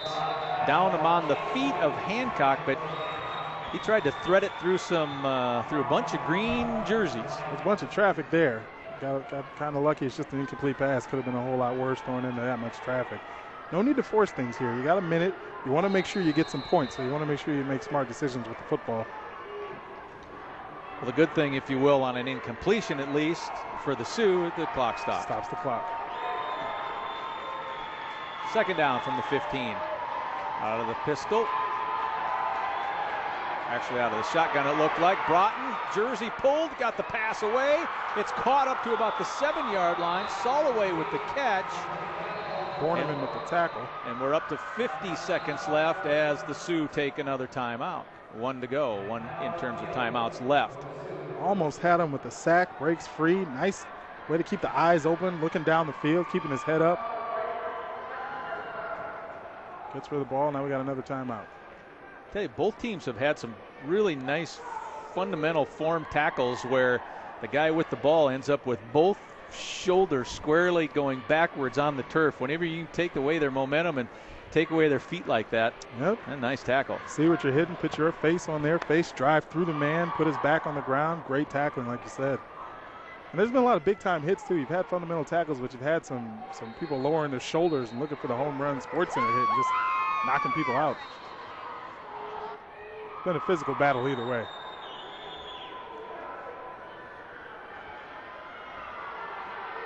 One more timeout left for Tom Nesvold to use if he so chooses. Three receivers to the field side and even a man in the slot. That's Hancock in the slot. So four receivers for Broughton to the right.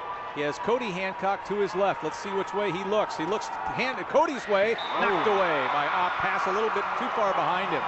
Put him in front of it, and that's a touchdown. Obviously, he's going to take that one in. He had a better chance at making the catch to that ball just behind him. Got to lead the man on the slant route. Farmers Union Insurance replay. Great knockdown too. Dominic Opp getting in there, breaking that one up.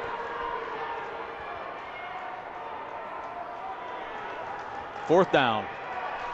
Ball needs to cross the five for the first. Fourth down for number four and company. Rolling right side. Got time. Over the middle. Incomplete. So Hazen holds, but not until its back was against its own end zone, and the fourth down pass intended for Soloway was incomplete. And even though WNG wanted to come away with points, obviously they needed some points cut to this deficit. You see that the offense is finally starting to pick things up. Looks like they finally figured out the Hazen defense. Able to get the quarterback out on the perimeter, rolling him out, getting him away from the pressure up the middle. So going into halftime, that's some momentum that they hopefully will be able to bring into the second half. You wanted to see them do something well, and they've finally started to do that here in the second quarter. And my guess is is that Hazen will see if it can pop a big running play here. Yeah, they're not taking a knee. No, direct snap to Carr. Oops. Oop. Well, first, we need penalties. There's about uh, three players moving before the snap. Wouldn't One be a- in the backfield, two on the right side. It wouldn't be a drive unless you know we got some yellow laundry on the field. Go first down. So now that we've gotten the penalty out of the way, this drive can officially begin. You see a bunch of movement there. I was able to watch a little bit of uh, Bismarck High's semifinal game against West Fargo. And flag wise, we're probably about even so far. there, are, there are a ton of flags in that game last week. Well, now Carr is standing in his own end zone, so the snap from Connor Hill has to be a good one. It is. And it'll be Borneman going straight up the middle. And my sense is is that will be the last snap before. Well, it depends how it's 25 seconds. They're trying. They're trying to get up their line quickly. Look at this. They're running another play. Yep, they'll have to snap it. About a second difference.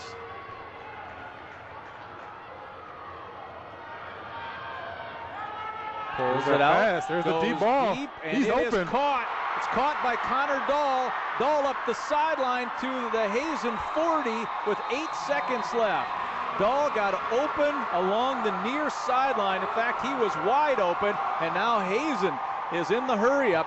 Hazen still has three timeouts left if they want to talk about it, and they'll use one of them. Let's say it'd be smart to take one here. I'm surprised they didn't take one right away when the player was tackled. But yeah, he definitely got behind the cornerback. You can't get beat, you know, in a situation like this. You can't let anybody get behind you. And had he been hit in stride, he was gone for a touchdown. Well, you see Connor's sister there. Should be proud. Dahl has four touchdowns receiving, and if he wouldn't have had to wait a little bit for that ball to come down, He was gone for sure. And like we mentioned, they, they haven't had to throw the ball that much. And you see he's wide open. There's no one there. Definitely gets behind number seven and has to wait just a little bit and keep his balance to stay in bounds. And this is a great job of keeping him in bounds and not letting him get out of bounds and stop the clock, though. That is a great tackle by Tyler, W&G. Tyler Simpson. Yep, keeps him in bounds so that they'd have to burn the timeout. But yeah, you hit him in stride. He's definitely going down the sideline, going the other way, or going for a touchdown, rather. Yeah, Connor Dahl was the number two quarterback behind Carr, but you're obviously not playing much if that's the case. and so he moved to wideout. Four wideouts out there right now. From the 39, Carr steps up and looking deep to Borneman. A little bit too far. One more play, one second left. Yeah, if you're behind a two-time All-Stater, you're uh, you're gonna have to find another home.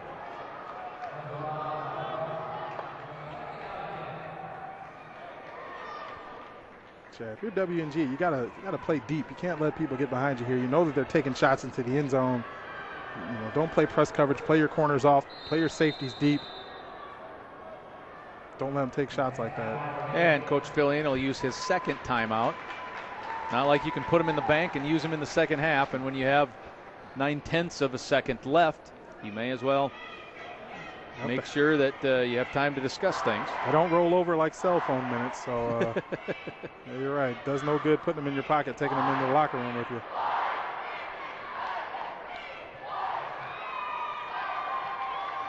But overall, im- impressive drive. You, you might have thought that Hazen had lost a little bit of the momentum with the way that W&G was playing, and they come out on this drive and they could have taken a knee and gone into the locker room, but nope. It's not the way they operate. Put the pedal to the metal, a couple of shots downfield. Now with a second left, they've got another you know, chance to score another touchdown and retake the momentum going into the half. They haven't already done so.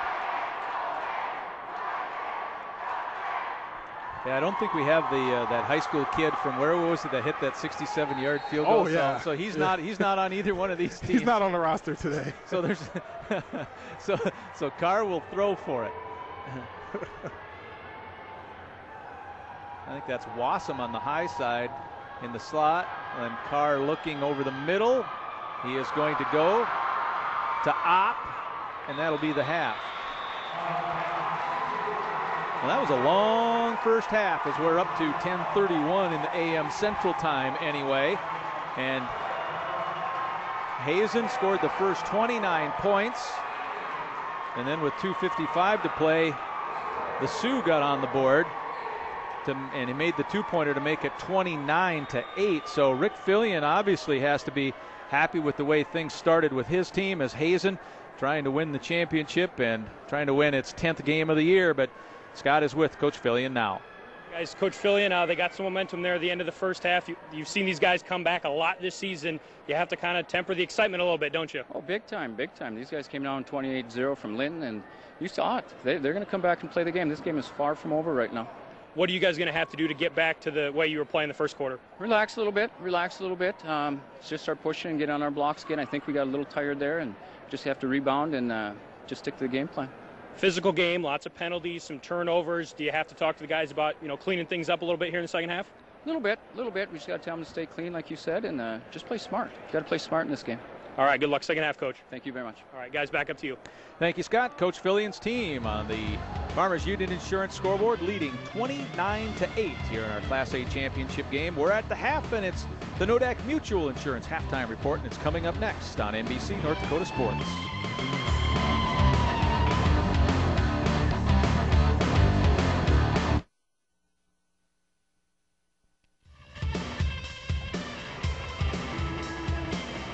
This halftime report is brought to you by Nodak Mutual Insurance, a proud supporter of North Dakota athletics. And at the halftime of our first championship of four today in the Dakota Bowl, it's Hazen leading 29 to 8 here at the Alerus Center in Grand Forks. Scott Westerberg is ready to take us away through this halftime. Go ahead, Scott. Yeah, thanks, guys. Well, the Hazen football team has been fortunate enough to not only have the same starting quarterback for three years, but an all state quarterback as well. His name is Stetson Carr, and Alexander Gorney has more. Carr takes a snap. The Hazen football team has more than a prototypical quarterback. They have Stetson Carr. The part of the sport I love the most is definitely competitiveness. You know, and there's always an edge. No matter what team you play, good or bad, there's always going to be that competitive edge. Whether you have a rivalry or you know kids on the team that you just want to beat. Ah, Carr's been the Bison starting quarterback since his sophomore year. And surprisingly, the thought of football didn't enter the senior's mind until he saw his brother play. I didn't used to play sports when I was younger. I was more involved with rodeos and come from kind of a roping background. Ever since my brother got involved with sports, I got involved also. And that just kind of took a toll. And watching my brother play football throughout his high school career kind of, you know, influenced me to follow his footsteps. And ever since, I've been playing. Stetson is a triple threat. The All State QB not only can run and pass well, but he's a starting defensive back, too.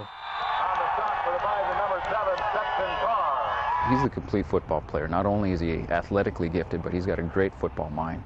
Um, he can dissect the other team's offense uh, defensively. Um, he can take a look at defenses and knows where the weak points are. And he's a great leader, you know. And uh, you talk about a kid that has zero quit in him. He's, he's, he's a kid you want to follow. But if Carr had to choose a side of the ball to play on, I enjoy offense more because uh, to me it's more thinking. I need to know more about the defense and make decisions rather than just react. And I think that's one of my best attributes is being able to react to tricky situations. Carr helped the Bison earn the number one seed in Region 4, but the ultimate goal is to be the best Class A team in the state. I think a state championship would be incredible. You know, just burns the bottom of your heart that you just want, you know, more than anything. And to get it would mean, you know, the whole world to me. And it's a world that is just one win away. With the spotlight on Stetson Carr, for NBC North Dakota Sports, I'm Alexander Gorney.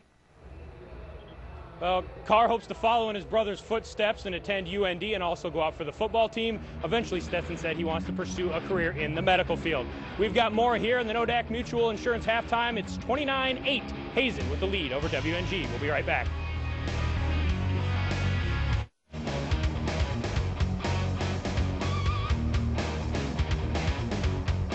Welcome back to the Nodak Mutual Insurance halftime report. Well, we saw a lot of Stetson Carr in the first half, and now at halftime, joined by, by his older brother Bailey, who has had the pleasure of being both a Bison and a Sioux. Yep. You were a Bison and Halen and Hazen. Now you're part of the UND football team. You were the Sioux. You're not anything anymore, but. But uh, nice, I'm sure, an off week for you guys and a chance to finally watch your brother play. Yeah, it worked out perfect. It's the first game this year that I've gotten to see, so it's a lot of fun being here and watching him play. Well, you came up short a couple times of reaching this point in the semifinals. Uh, it's, it's happened to Hazen a bunch lately. It's got to be nice to finally see these guys get over the hump. Yeah, it's really nice seeing these guys here and living out the high school dream. You know, everybody wants to play in state, so I'm happy for all these guys and especially the coaches that I got to play for. They deserve it.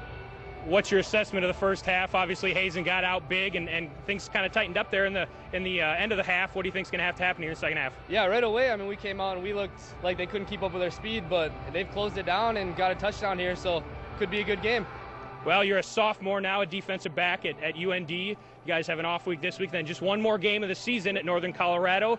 Uh, closing out the sophomore year, how's it been for you so far? It's been a good season. Uh, we've had first year in the Big Sky, and uh, I think we're five and five now, and looking to go out to Northern Colorado and cap off our season with a win. So it's been a good year. It's probably kind of fun sometimes during the sidelines to watch your offense in some of those games. They Harden and, and Braden Hanson, those guys, they've been but unbelievable, haven't they? Yeah, they're crazy, setting records and everything. First year in the Big Sky, they're phenomenal athletes. All right, thanks a lot, Bailey, and good luck uh, next week, and hopefully you can enjoy the second half. Thanks. All right. Well, we'll return here on the Nodak Mutual Insurance halftime with Hazen, the lead over WNG.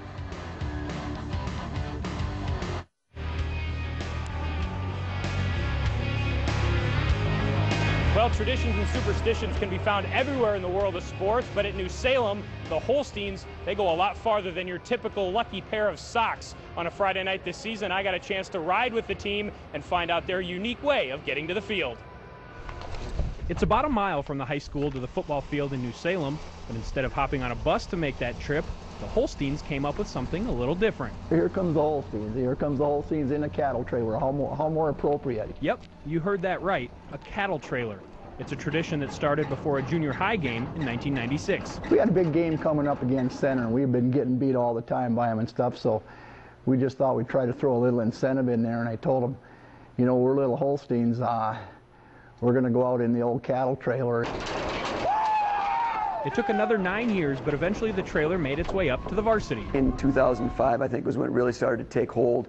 I believe we did it for homecoming that year, and then we had a nice playoff run at the end of that season, and we had three home playoff games, and, and we, we took it out there, the, the horse trailer, for all those playoff games, and every year from that point on, you know, it's just one of those traditions, and the kids, they look forward to it every year.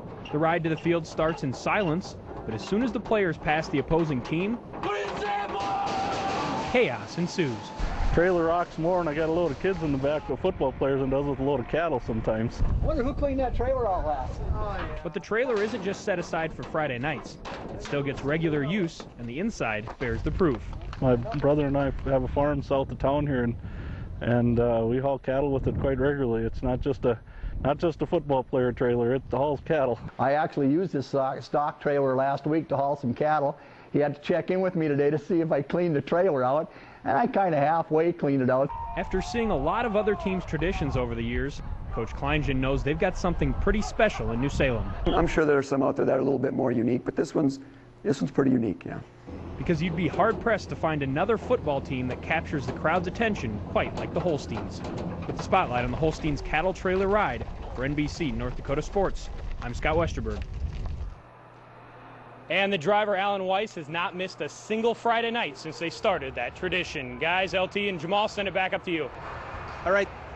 Thank you very much, Scott. As you see the Sioux back on the sidelines in our first half highlights, Jamal obviously dominated early uh, by the uh, by by Hazen as we take a look at first. I'm sorry, our stats. Where halftime stats brought to you by the North Dakota Certified Seed Industry.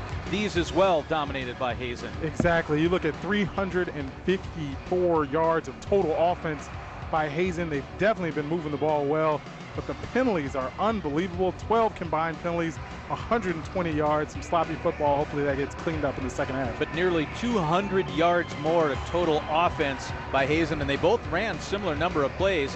Um, Westhope NG with uh, 44 and 43 plays for Hazen in that first half, and Briar Borneman with uh, 147 yards rushing himself, averaging over nine yards a carry, and as a team, Hazen averaging 10 yards, over 10 yards a carry. So obviously Hazen uh, winning on the scoreboard and winning in the stat book. Definitely. You know, like you said, they're, they're riding Briar Borneman. He, he had 9.2 yards a carry, and he got him off on a great start here with his touchdown run. Real physical, lowers the shoulder, getting into the end zone, kind of set the tone for the day. Yeah, that was a 15-yard touchdown in Hazen's opening drive. On the second drive of the game for Hazen, it was Stetson Carr who finished it off from five yards out. Like we talked about, the read option was there all first half. And then a little bit of an offensive play here. And speaking of an option, it was a pass, but Hunter Broughton elected to run it. And then Borneman strips it away, but the Sioux were able to get back on top of it. So, uh, so good plays on both ends of that. Heads up play by both sides. Unfortunately, it didn't result in any points, though, for the Sioux. And here's an interception from Lines that helped set up another 74 uh, yard touchdown run. And that was capped by Borneman again. Here's part of that rushing. We talked about his running. I mean, just he's run so hard. He's been blasted a couple of times, yep. but he keeps going forward with yep. 147 yards after yards. contact. He's moving his legs. He's constantly getting hit, but he's still finishing his runs. Carr finishes off that drive from uh, a short touchdown there, and at that point it was 29 to nothing. But then Broughton helped get things turned around. Big time run, 13 yards. Hunter Broughton takes it in. They would get the two-point conversion. That would get them up to eight points right before the half. And Borneman, there's that Ooh. big hit. He took a hit. He took a couple of big hits, but that was a real nice one turned in uh, by uh, Logan Hermes. And that's where we are at the half. We're about three minutes away from the start of the third quarter, and we'll be back with continuing Dakota Bowl coverage on NBC North Dakota Sports. Your halftime report brought to you by Nodak Mutual Insurance, a proud supporter of North Dakota Athletics.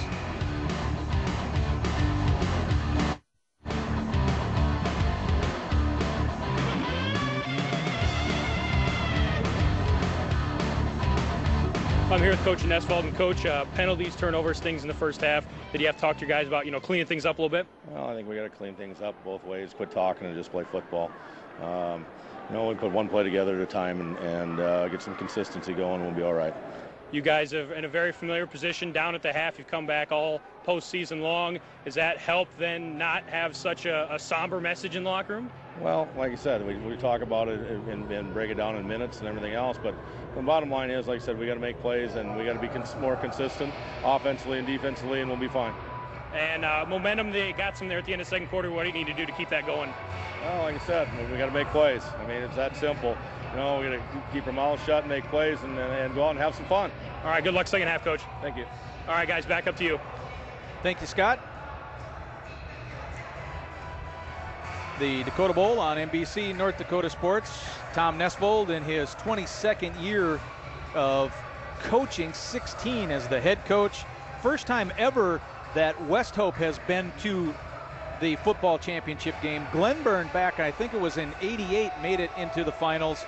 But it's a co-op among the three teams. They're, the schools are 35 miles apart, so they're used to traveling uh, just for practice and getting together. Well, yeah, that, this, you know, it's no problem to come out here, especially when you're in a championship game. The whole fan, the whole community's out here, and it's nothing for the team. Like you said, they travel all the time, so it's not that bad for them. And the Sioux will get the ball to start the second half, so that offensive momentum, momentum that Scott was talking about with Coach Nesvold, the opportunity here to, to take what you learned there late in the in the first half and continue it now to start the second. If you're Coach Nesvold, you look your guys in the eye in the locker room. You tell them, "Hey guys, we got them right where we want them. This is what we do." Like I said, they're a second half team. They have been in the playoffs. You don't want to, you know, risk your luck too much, but 60 points they've scored in the second half of their three playoff wins, and they're only giving up six. So it's a team that knows how to make the adjustments, not just execute on the field. The coaching staff makes the adjustments. The players go out, they get it done on the field. We'll see if they can keep that momentum going and put something together, not to get the ball first.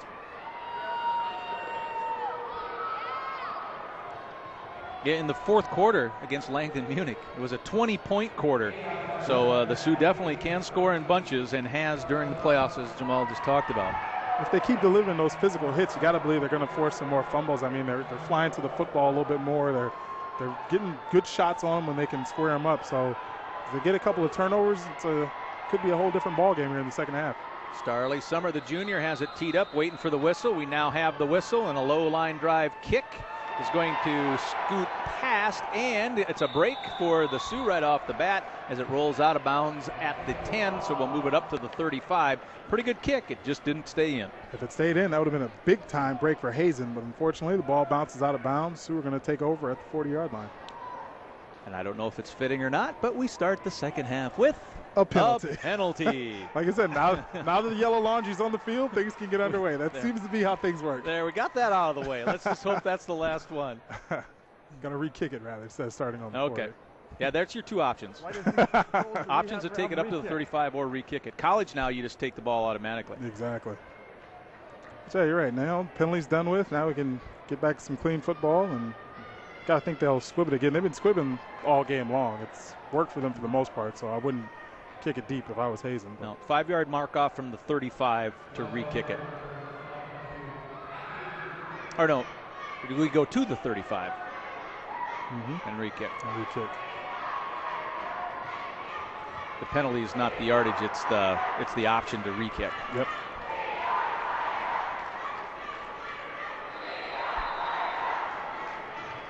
Which, of course, gives you an indication of how much that Coach Nesvold wants his playmakers. And it's caught and a nice catch on the far side.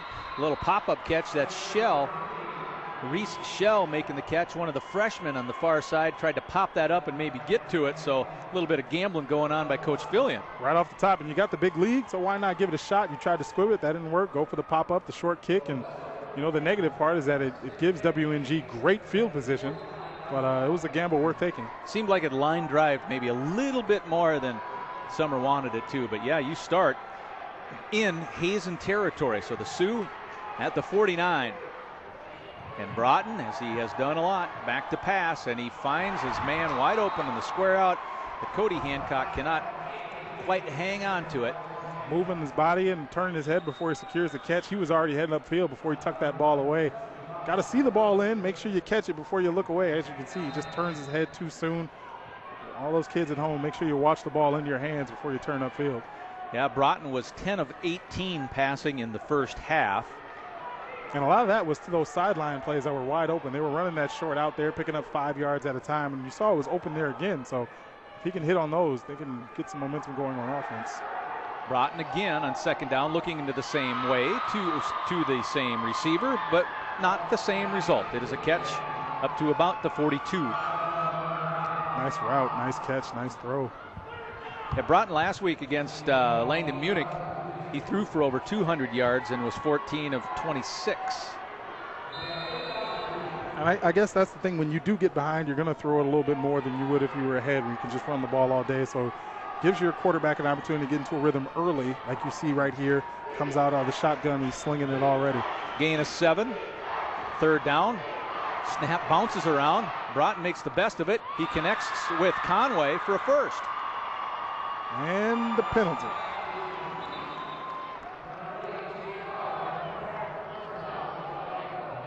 The flag was thrown about 10 yards deeper than where the catch was made. In the area of pass interference or defensive holding. And my hope among hopes that the out of bounds kickoff would be our last penalty of the game is for naught about four plays later. Things are looking a lot like the first half so far to start this second half.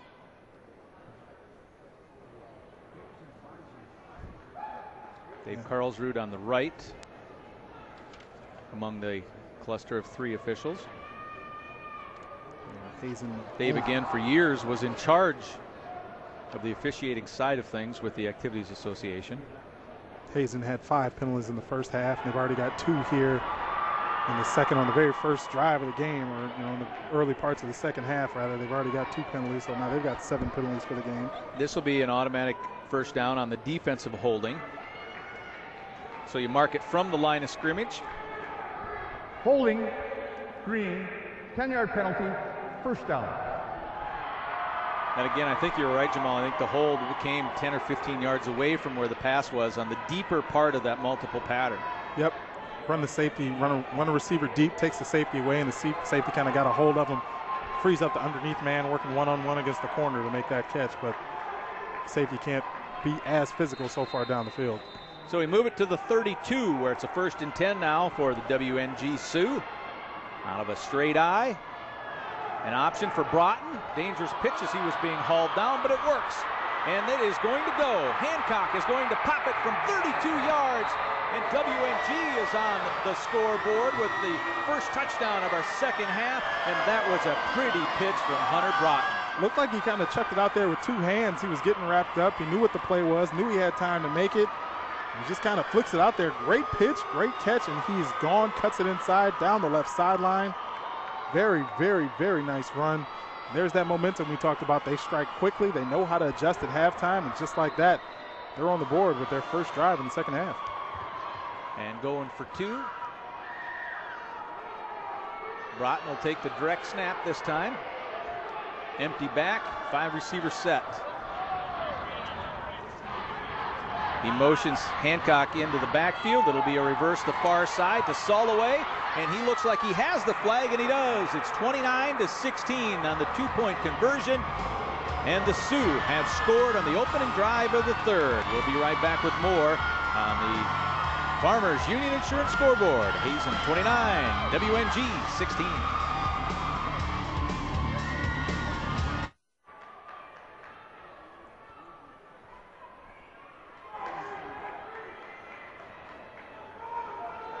Well, that opening touchdown drive, a 32 yard run by Cody Hancock, and the two point conversion makes it a 13 point game. And now just think on that fourth down play at the end of the, you know, near the end of the first half or the last possession for, for the Sioux, if they could have got that in on fourth down, wow, we'd really be a tight in the ball game. Definitely would have changed the complexion of the game. They already had momentum going into the half because their offense was finally able to put together a drive.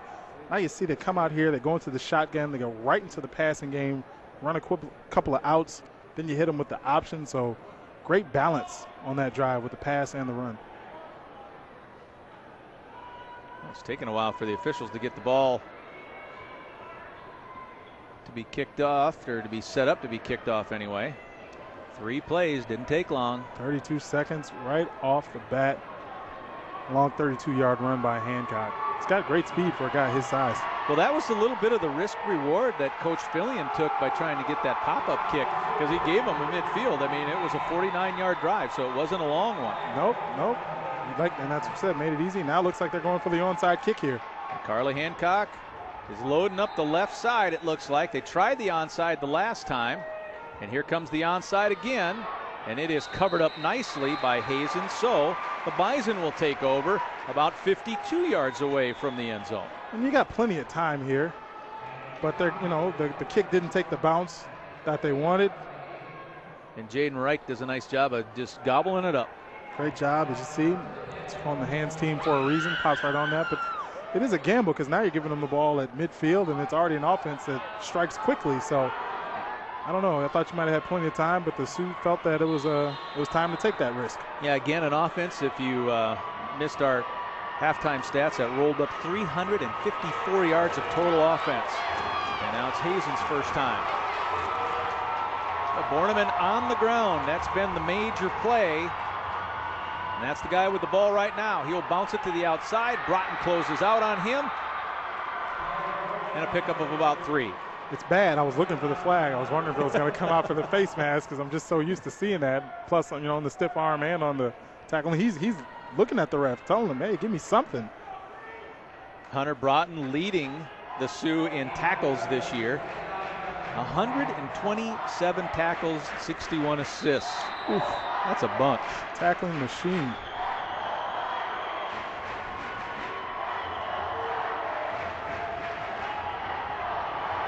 Atmosphere here at the Alerus Center has kind of shifted a little bit than it was in the first half. It's a little more energy here now.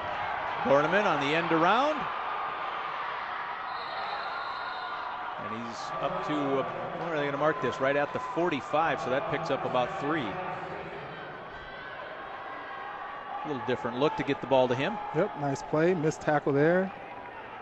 Gets out of bounds, able to pick up enough yards to make it third and manageable. Alex Valley, a senior, running in the play. Number 84, you see him right there. Boy, after scoring on your opening drive, this I'm not saying Hazen won't go for it, but this could be, you know, if the Sioux can stop him right here. That'd be big. It's more momentum swinging to the Sioux side. Carr, hands off, close to the first down. That's Nate Leintz running it. Very close, depending on the spot here. Looks to be a hair short. Nate's the inside the tackle guy. I mean, when he runs it, it's basically that little dive plays. Third on the team in rushing in both number of carries and yards this year. What do you do? Go for it. Looks like it. If you're going to pop up the, the kickoff right away and give and give WNG the ball at the at your own 49, you're not worried about going it on their 43. Not at all. No, and here's the fourth down play. Out of the shotgun. Could be an important play for both teams. Carr on a quarterback delay falls for enough. We might have to measure it. Looks like they might bring out the chains on this one. Sioux got into the backfield. Credit the Hazen offensive line for continuing to fight because Sioux had pressure there. Yeah, bring the chains in. You're going to have to measure this one. First measurement of the game. Hazen for years and years and years made it to the semifinals and then made it. Uh, this is the first Dakota Bowl championship game since 2001. That's when the Bison uh, lost to Belvis Sawyer, and if I'm not mistaken, I think that's when the Aggies had back-to-back state championships that year. And Hazen in Class 11B, which doesn't exist anymore, won the title in 1996, and that was the last year that North Dakota had three classes of football. So, in, obviously in '97, it added the fourth class, which is now Class. Uh, well, depending on what you want to do, Class A or Double A. They kind of split that. Mm-hmm. Well, the first down was by just enough, so Hazen with a first and 10 from the 42, and Carr is going to keep it, follow Leintz's block, and Carr gets up to just shy of the 35, we'll say the 36 yard line. Pretty good first down yardage. And they're wasting no time going right back to their bread and butter, the read option, and give it to your your two-time All-State quarterback and let him make the right play. And that's what worked for them all in the first half. They didn't have to throw the ball at all. Come out here, you knew that was going to be the case in the second half. They're going to go right back to this play, and it's able to pick up great yards for them on first down. Yeah, Stetson had a, an outstanding day in the uh, in the win against Hart River, that 41 to 14 win. He had 242 yards rushing that day. Now he's going to look for yards through the air, and he's going to look deep, and it's caught by Opp inside the 10, muscled out at the five. So The Sioux will pick up a personal foul at the end of this. A little bit too much muscle, but Opp with the catch. Was that not eight or nine? Looked like nine. a Okay, bit. Opp with the call, uh, with the catch, and then I thought maybe it was, was Connor Dahl, but then a flag at the end of this down to the six, so that'll move it to about the three. If you're WNG, you got it's it's pretty simple. You just can't allow people to get behind you. I don't know if they got sucked in on the on the play fake, but he caught this ball standing still. He was wide, wide open. Half the distance to the goal. No, that's number eight, Connor Dahl. Excuse me. So my eights and nines look alike. Uh, look uh, look alike today. From up here, they're, they're a little blurred. So yes, the personal foul does move it to the three.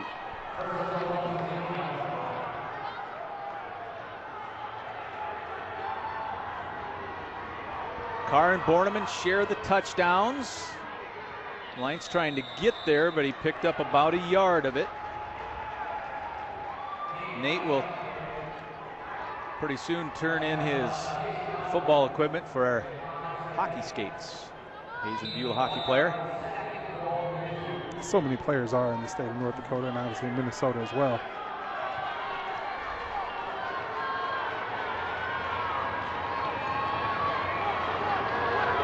Borneman motions back into the backfield.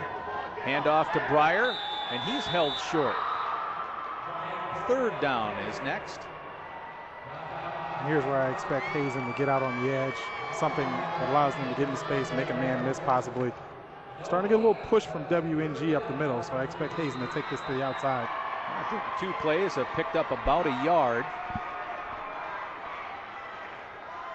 Cieslak and Moss on the right side of the offensive line. That's where Hazen gets so many of those those uh, yards. That's 77 and 79. Yeah, and Cieslak's a big fella at 6'3", 251, so I'd run behind him too. Here we go. And Carr will pitch it to Borneman and lead block on this. And Borneman is losing yards back to the five. So three nice run stops in a row by the Sioux. And there was their effort to get out to the edge. You can see the toss play, tons of lead blockers, but the Sioux stretch it out. They're able to chase down, make a great tackle, and hold them there. Lost the three yards on the play. Timeout taken by Hazen. And funny you used the word chase because that was Chase Conway that made the tackle. And it'll be fourth and five. So you get a stop here. You obviously have big time life on defense. The offense has produced some points early here in the third quarter. You get a stop here, then everything's seeming to go their way. This will be the second fourth down play of the drive. The last one was fourth and one, where just Hazen made it by a few inches. That's all you need, game of inches. But that fourth and one was big. Obviously allowed them to keep the drive going, and you put them in a situation here where now they've got an opportunity to get some more points, extend their lead. This will be a key play for both teams, obviously, going forward here. Yeah, you saw that low angle shot of the, the goal marker. Of course, that is where Hazen needs to get here on fourth down. Otherwise, WNG will take over. And Hazen made a fourth and goal stop late in the first half. WNG trying to do it here. Right in the same spot.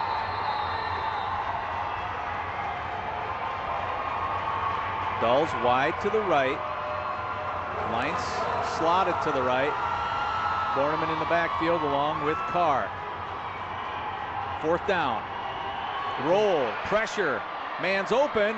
Dahl, touchdown. He caught it. Yep. What a catch. Way to get his foot down. Great concentration. There was pressure coming off the back edge by the Sioux. They had the backside blitz. Hazen beat it by rolling out. Great throw and even a better catch. Very impressive. Look at this. The knee is inbound. You only need one in high school, and Connor Dahl does it. That's a great catch. Fourth and goal. So put six more on the board for Hazen. Fear is in to try to add the PAT. You see Carr is his holder. And both teams have scored on its opening drive of the third quarter. Kick is up and good. Hunter puts that one right through. Farmers Union Insurance replay. Back to the 20 point lead. 36 16. Hermes was coming hard, wasn't he? That was a great blitz call. I, I thought he was going to get there for a second. He, the quarterback took a shot, but great call to move him out to the right. Felt that the blitz was coming. Made a great throw. Just couldn't get him down in time.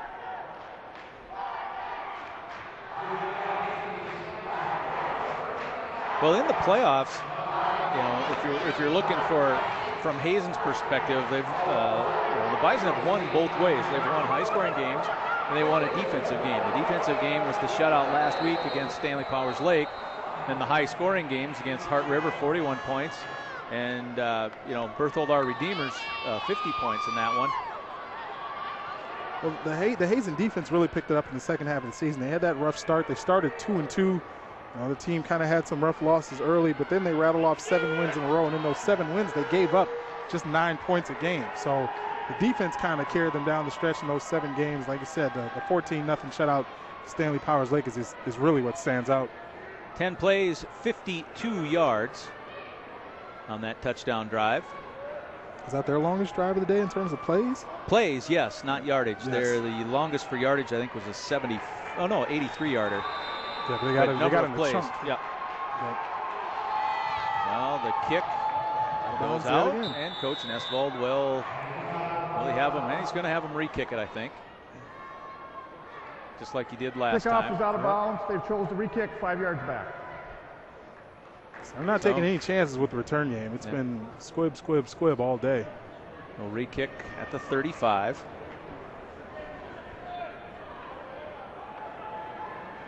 Yeah, Broughton's the deep guy in the middle. I think he's only had one return, and that was when it wasn't even kicked his way. It was picked over here on the squib. He reversed and lost some yards on it. At this point, would you move him up and make him one of the one of the men in the middle, kind of move him around and give him him closer? Give him a chance because they're not kicking it deep at all. I'm pretty sure this one's not going deep either. Hey. And it is, and this time it was Fears that kicked it, and it does come to Broughton, who's going to pass back to Cody. Cody on the wide side, but Hazen has it read very well, and it is a super play over on the far side by Carl Hayes. Hayes is a junior. He did his job, didn't he? Great play by the Hazen special teams. Doesn't over pursue. Plays like this, you have to do what you're asked to do. Don't try to run all over the field and make the tackle. Stay in your lane, do your assignment, and he did that. Stayed on his side of the field, made a great tech, great tackle. Read that play very well. Great job by the Hazen special teams unit. Yeah, it appeared on that play that Hayes was was the guy on the wide side. No one's supposed to get wider than you, and he did his job. Exactly. So from the 33 is where the Sioux will take over.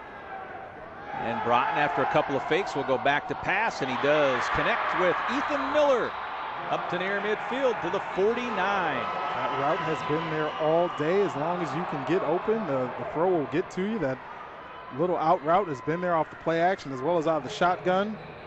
Seem to like that sideline route. Farmers Union Insurance bringing you the replays today.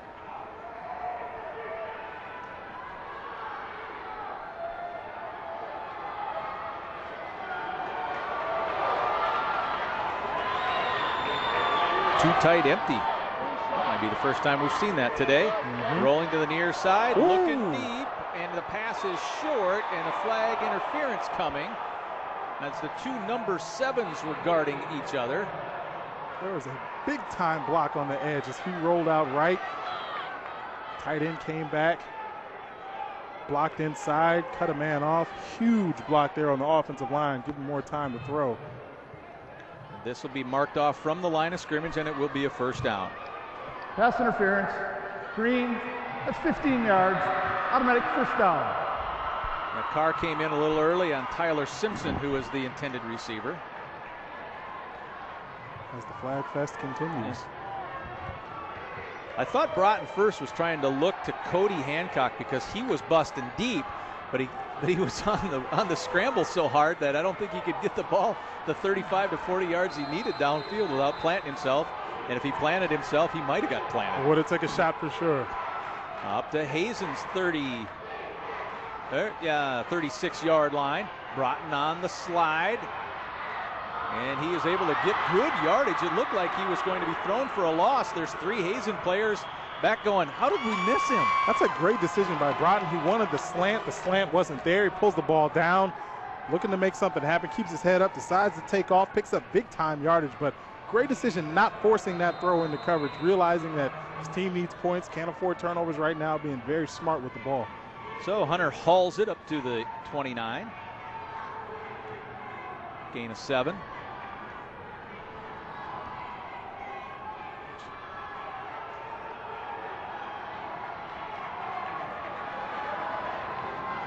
This spread has kind of uh, been the best look from the Sioux. Little out pass caught by Miller again. He makes a move to pick up the first. I agree, but it's it's kind of like we talked about a little bit during the break. If you're such a great second half team and making adjustments in the playoffs, you've done such a good job at finding what works for you and doing it. Where is this early in the game? Where is the where is the shotgun where was the spread early in the game? Because it, it's sure working right now.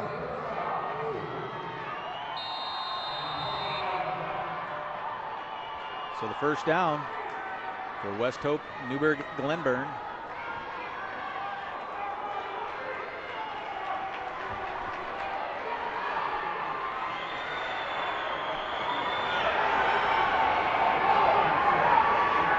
Almost exclusively pass for good reason. Caught by Simpson, and he picks up the first. Moving and change. The offensive line's giving him all day to throw. He's sitting back there in the pocket. I think Hazen's dropping a lot in the coverage. That has something to do with it as well. But the offensive line's protecting him very well, giving him all time, all sorts of time to throw and find his receivers. Well, Brett Johnsrud is the defensive coordinator for Hazen, and he's being put to the test right now. Most definitely. Now you got to try to decide: Am I going to come with the pressure? Am I going to keep bringing people back into coverage while they're throwing the ball? Especially out of the spread formation, you don't know what they're going to have to do. Let's see who Broughton looks to this time. Oh, it's a quarterback draw up the middle, squeezes through the initial, backs his way in for the touchdown.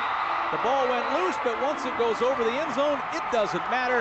Broughton with the touchdown run. Great, great effort by Broughton. Hunter Broughton doing exactly what needs to be done. Take a look here at the replay. Takes it up the middle, breaks a tackle there, stays on his feet, breaks another tackle here, gets into the end zone. It's all hustle, all effort there. Offense is really starting to click here early on in the third quarter. Chance to make it a 12 point difference.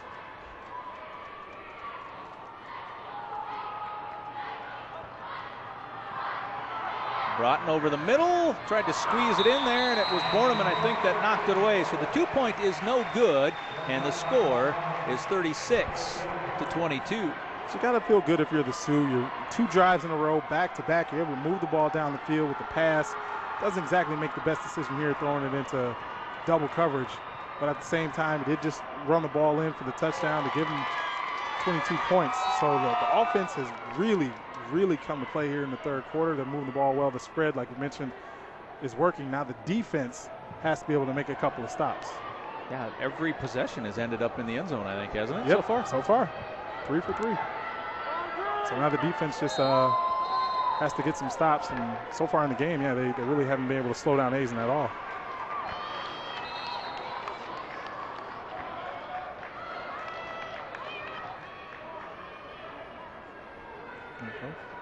There's your five plays 67 on the 10 yard touchdown run. They're not wasting time either. They're, they're getting in there quickly, and they kind of need to at this point in time because when you're down, even though it's it's not crunch time yet, when you're trailing in the second half, you want to score as quickly as possible. And they've been doing a good job of that so far. Well, the initial look here is the onside. See what Hancock wants to do with it. And of course, Hazen, after seeing all those onsides, has eight men close. This one will go deep, and I think that's towards Steffen. Steffen trying to find a little seam, but he is hauled down by Soloway up at about the 40. Good decision to kick it deep. Didn't again didn't need the onside. Didn't want to give up the field position, even though Hazen ends up getting the ball to the 40, so it's fairly close anyway. It might have been the exact same thing. Yeah, really, you know, if you like the last time you went for the onside and didn't and you didn't get it, but still it's only a 10 yard difference. So Exactly. if you look at it that way, then the risk reward might be worth the risk. Next time, I'm sure they'll think about it. They've already done it once. All state quarterback Stetson Carr, his third year as the starter. Efficient. Six completions, 148 yards and a touchdown, but Borneman on the ground is being. No, he got to the edge. Borneman, first down and more. Oh, and, and it was uh, Cody Hancock going, uh, uh, uh. Well, almost had him, and then zip, he's 10 yards past I me. thought Hancock had him in the backfield. Hancock reaches out, gets nothing but air here. Unbelievable the speed. Get to the outside. Good look on the Farmers Union Insurance replay. But that's exactly why he's close to 10 yards a carry. He's got the speed, he's breaking multiple tackles, and all he needs is a crease, and he's gone. And again, in that first half, Briar with 147 yards rushing. So now you see him up to 158 on 21 carries. He's been the workhorse. Most definitely. Well, he should be as well as it's working. Carr pulls it out of his stomach, looks to go long. This pass floats a little bit, and it is incomplete. Offensive player turned defensive player. Josh Earhart was just making sure that that thing was not intercepted back on the defensive play. Well, that's a great job to get back and make sure that if he's not catching it, nobody's catching it. He tries to, like you said, become a defensive back in that situation. But if you can get him in stride, he was wide open there again. Yet another penalty on this play. Looks like holding. They're going to march him back again. Let's see what the referee has to say. Holding. Green. Spot fall. 10 yards. Replay first down. A hold from the spot. So back to the 30, uh, between the 38 and 39 yard line.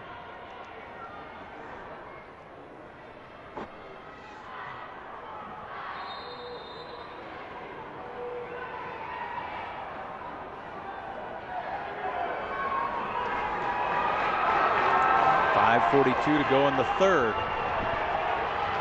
Four receiver set. Double wide, double slot, and a quarterback draw. So you spread it to run it. Carr squeezes out of one tackle up to the 46 yard line. Solid pickup there and trying to get back as much as possible after the penalty. Like I said, spread him wide. It was a design quarterback draw from the get go. Picks up nice yardage too. You take Nate Lines, your fullback, and turn him into your turn him into your lead blocker, and the freshman Chase Conway making the tackle.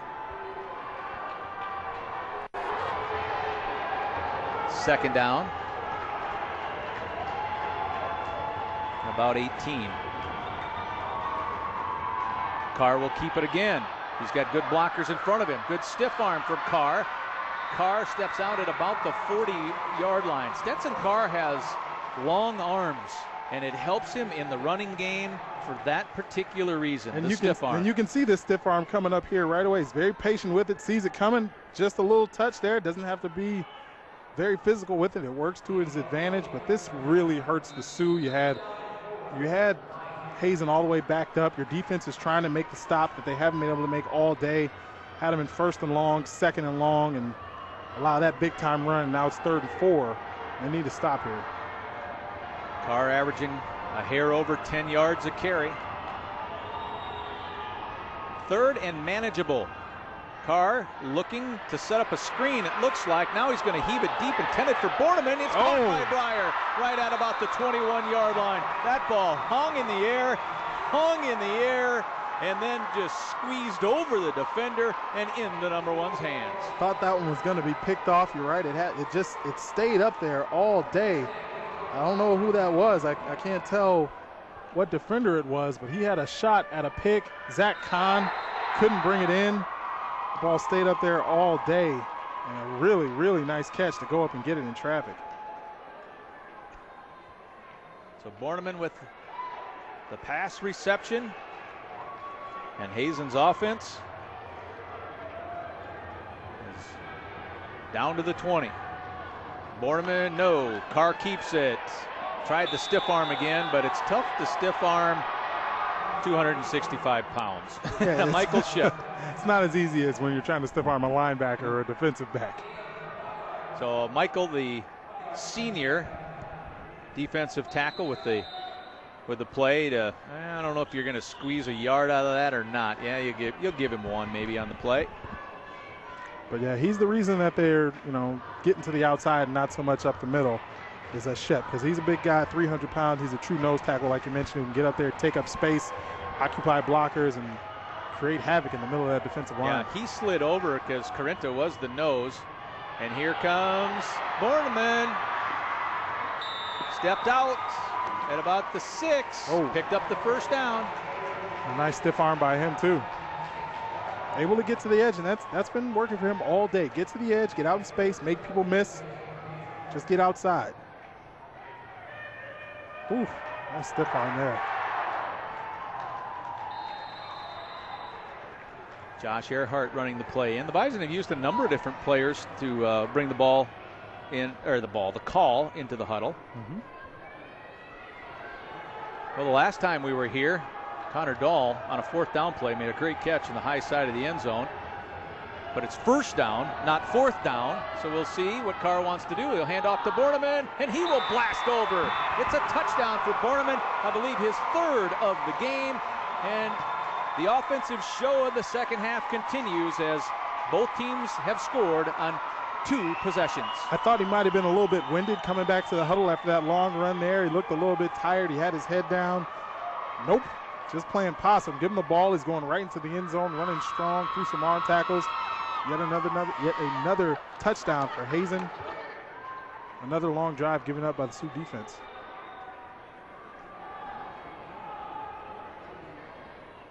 Cieslak comes in to the huddle a little bit late, but Hazen still has plenty to work with here. There's 12 seconds now on the play clock, and it's a two point conversion attempt for Carr and company. Up by 20 right now. Carr on the pitch to Borneman. What a play. And the two point is no good as Broughton makes the tackle for a loss. And it is a 42 to 22 lead for the Bison. Hunter Broughton read that play all the way, misses assignment, football, shoots into the gap, takes the running back right from the get-go, doesn't worry about the quarterback, let somebody else do that. His, did his assignment, shoots into the gap and blows up that two-point conversion. Nice play by Hunter Broughton. This is the problem now. You see, it's a 20-point lead. You've been able to score the ball in the third quarter. Your offense is doing exactly what you wanted to do, but you can't make a comeback without defensive stops, and they are just unable to stop Hazen when it really matters. They had him backed up, like I said, first and long, second and long, and they allowed him to convert to third and four. Just can't stop him. Seven play, 60 yard scoring drive, two minutes, 23 seconds there for Hazen. That's been about right for them. They've had the ball about two minutes and 20 seconds every single time. So that's that's nothing's really changed for Hazen. Yeah, last touchdown drive was 10 plays. This one, as we saw, seven. But yeah, when you get your offense rolling and you score twice already in the third and you've gained only one point. Yep. Hmm, it's tough to swallow. Yep. Which, of course, is a credit to the team in green. Okay, yeah, gotta give, gotta tip your hat to Hazen because they come right back out even after they give up the touchdown. The defense is obviously giving up more points. Hazen's defense is giving up more points here, but the offense isn't slowing down at all. They're still doing what they're asked to do and gonna kick it deep again here. Fear kicks it to Conway. And the freshman to the 35, all the way to the 40. Nice return by Conway.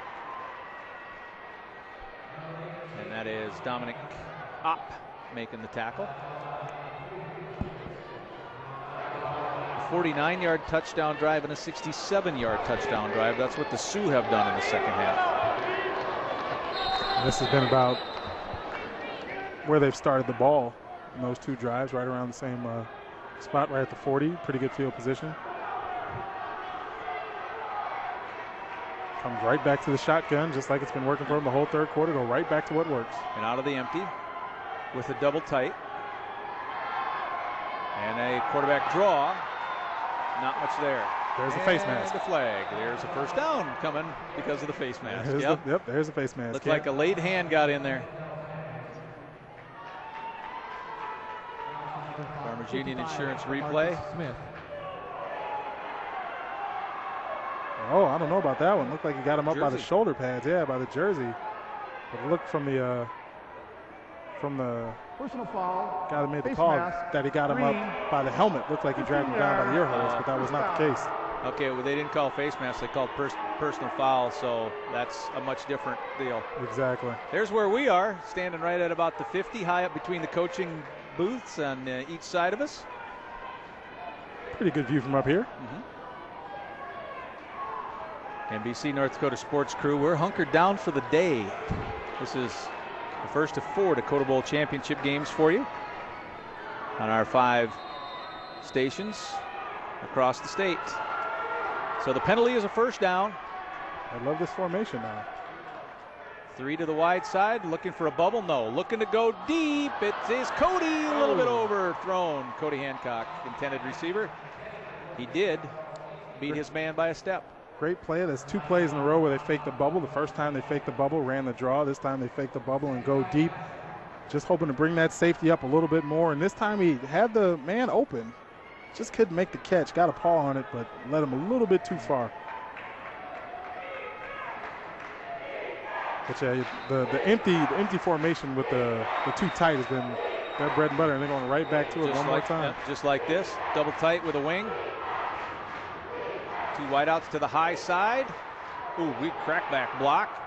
Boom, Oh. and a big hit on the other end. So Carr separates Soloway from the ball. Physical football all the way around. And here's that crackback block you're talking about right here. Pow. Number 30 with a big one, and then the defense delivering a shot of their own. Nice physical play from both sides. The, the key for that block is to make sure you stay up high, though. You don't want to you don't want to be below the waist on something like that. Yep, yep. Nice physical play. Third down and 10. And Hazen's crowd getting it revved up a little bit.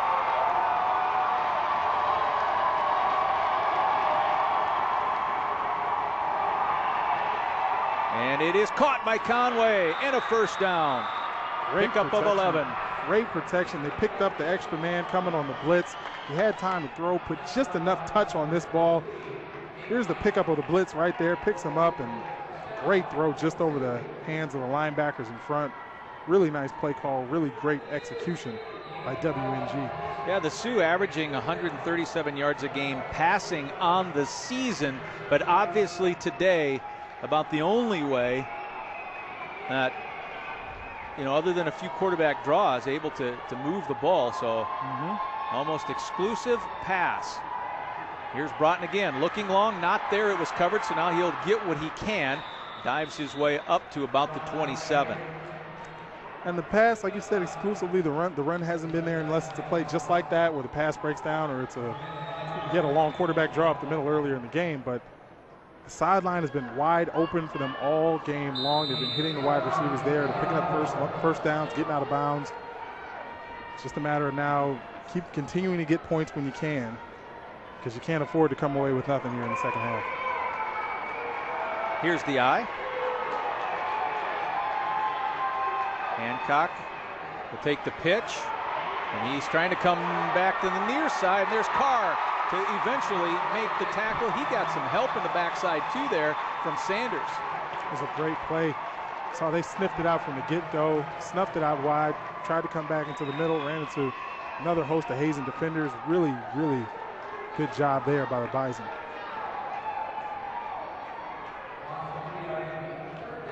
And once Carr has you, he usually has you. And You're going down. You're going down. Yeah, Stetson leading the team in tackles, leading the team in sacks, leading the team in tackles for loss, second on the team in interceptions. I think he led the team in forced fumbles this year too. Is that all? what else is there? Third and 12. The out pattern that has been so effective, caught by Hancock, but he will be far short of what is needed for the first down as Dominic Opp makes the tackle up around the 28. No doubt about it. You're getting ready to go for it one more time. It's a lot, lot better situation though to be dealing with. Looks like it'd be about fourth and six than it was. Uh, would have been fourth and 12. Fourth and five is what it's going to be.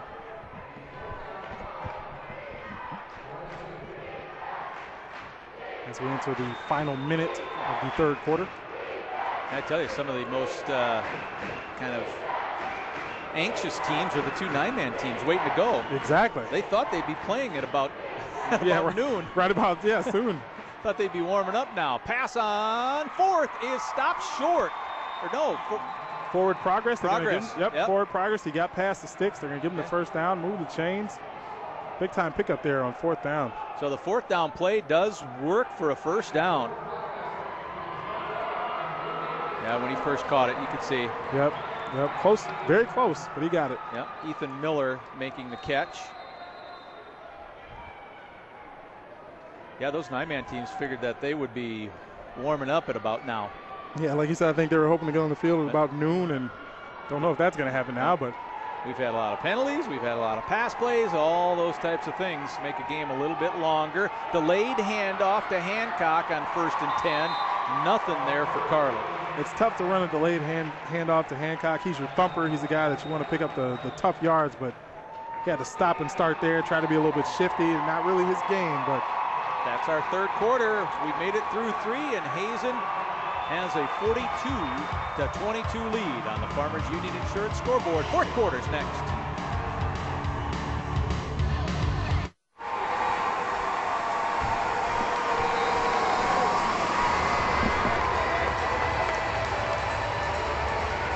We are back for the start of the fourth. 12 minutes left in this Class A championship game where Hazen is trying to slow the offensive drive here of WNG, but leading by 20 points.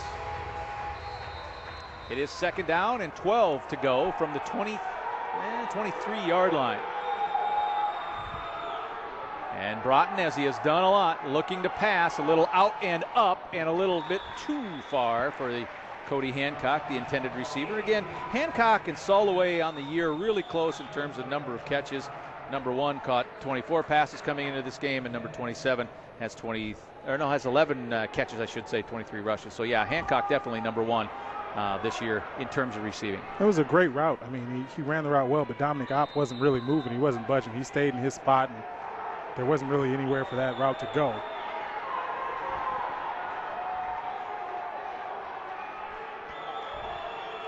On third and long. Broughton swings it out. It's caught by Soloway. And it'll be a fourth down play, but fourth and relatively short considering you were at third and 12, mhm. all the way up to the 15.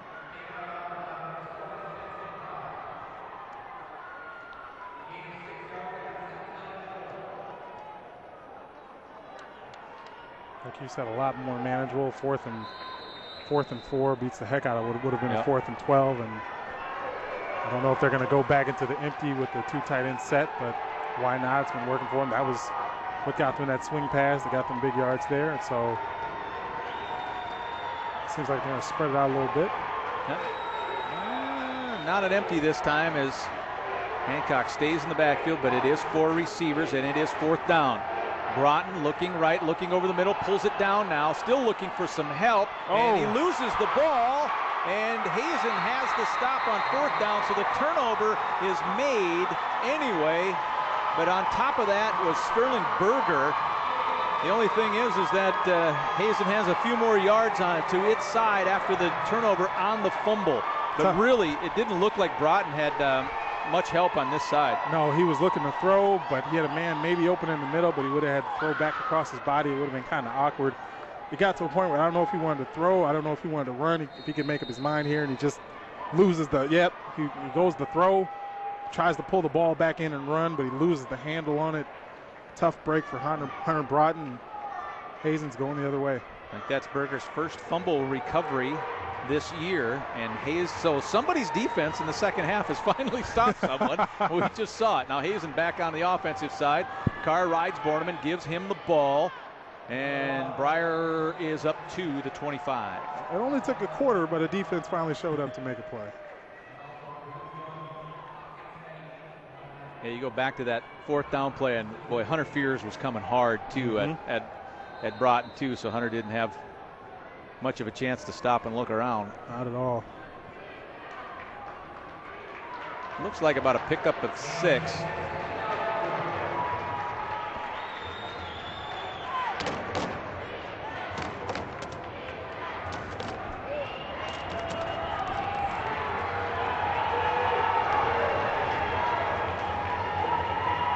Borneman again.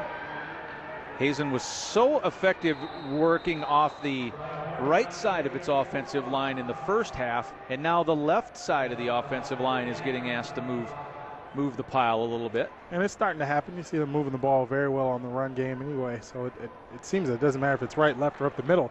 They're picking up positive yards every time they run the rock. Third and short.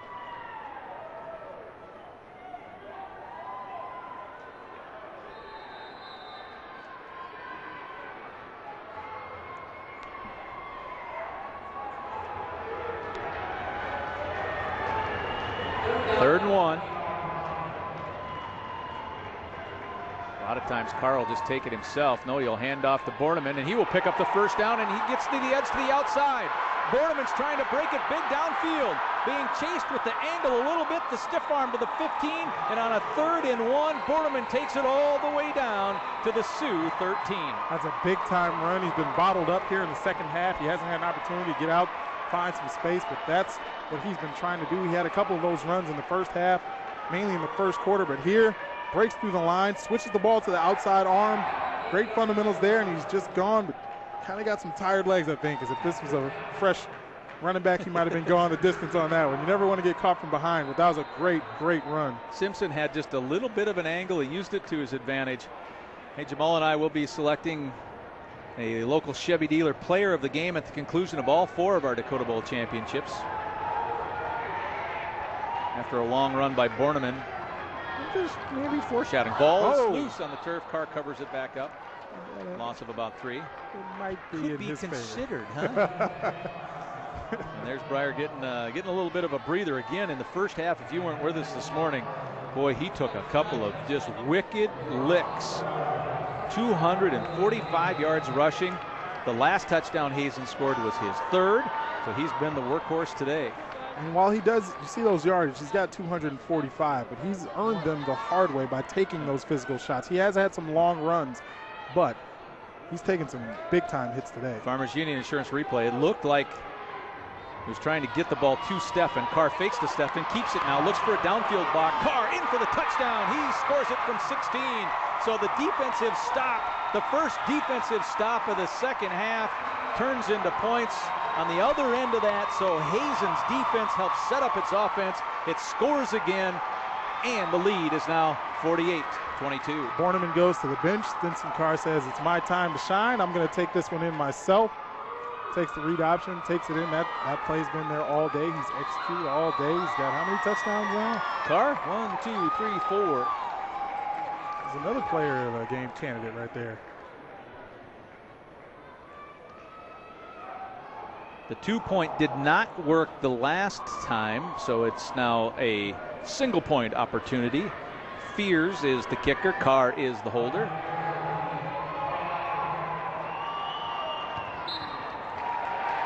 And it is good, so it's a 49 to 22 lead. And WNG was trading blows for a while here in the third quarter and into the fourth. They tried to go toe to toe. It's hard to do that when you're down, though. You can't go toe to toe when you're down. All right, the kickoff. When we come back to the Dakota Bowl.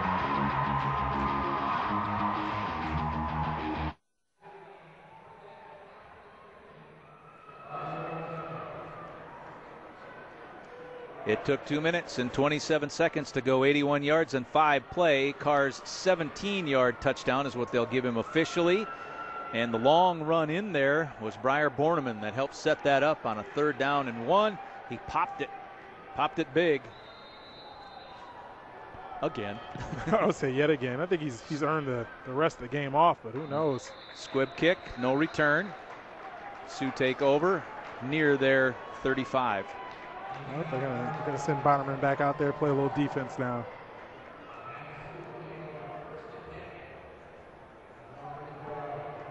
But this is the Sioux team I expected to see, a team that would, you know, possibly face some adversity in the first half and come out guns a-blazing in the second half and show some fight, show the grit, show what they're all about. And they're not going to quit here in the fourth quarter. They're down big, but the team's not going to go away. They're going to continue to fight. The fans are still behind them, supporting them, and a lot of heart being showed by this Sioux team. Broughton's arm's been getting a workout here today.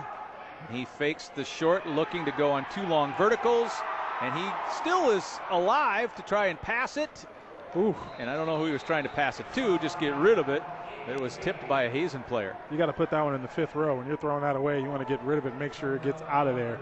That ball almost got picked off. Dangerous throw there, but credit him keeping the play alive. You take a look at this, a lot of pressure up the middle, and here comes Hazen, so he has to break it to the outside, breaks a tackle here, keeps it alive. But when you go to throw this ball away, you got to make sure you get it as far away as possible. Well, it was an all-out sail deep. There was double verticals on that far side. So I mean, Broughton absolutely needed needed time. Mm-hmm. 151 yards passing now for him. 31 attempts. Like you said, his arm is definitely getting a workout. Uh, attempt number 32 is coming up right now. And that has been the successful play. It's a little out, caught by Simpson up to the 40. Mm-hmm. Simpson and Soloway and well, even Hancock have had some of those out patterns, those six, seven yard outs. And like we talked about, it's not necessarily dink and dunk, but you keep taking that short one, the short one, the short one, and they're hoping it's going to open up the vertical game. They've had their chances. They've taken a couple shots, but they haven't really been able to hit the big one over the top yet. So, but as long as they can keep taking that the five, six, seven yards that you get there, you got to take it when at you least, get it. Yeah, at least you're moving it. Exactly. Third and five. Broughton. Ooh, nice. Oh, he almost came up with that. Soloway had to adjust to the ball, made a diving stab at it, and now it's fourth down. Really, no reason to punt, is there? Of course not. I mean, they're they're going for it. They've been in four down territory since the second quarter. I got to believe. Ball needs to cross the 44.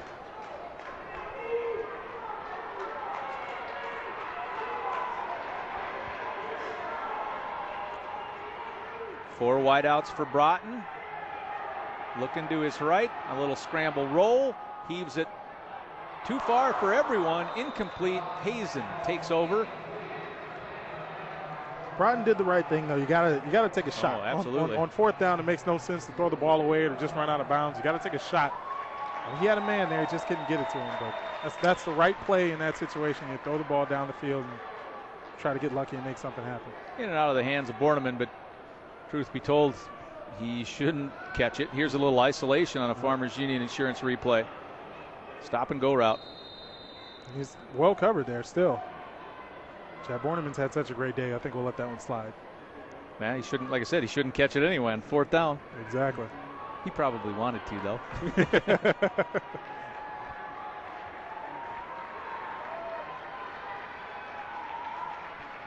And Coach Fillion will take a timeout because of personnel. Someone wasn't quite in who was supposed to be in. I think they're trying to rotate some of the uh, of the younger linemen and that type of thing into the game here. That's great. Like it's the first time the teams made it. Not the first time, yeah, first time that they've made it to the state title game. You want to make sure everybody gets their time to shine.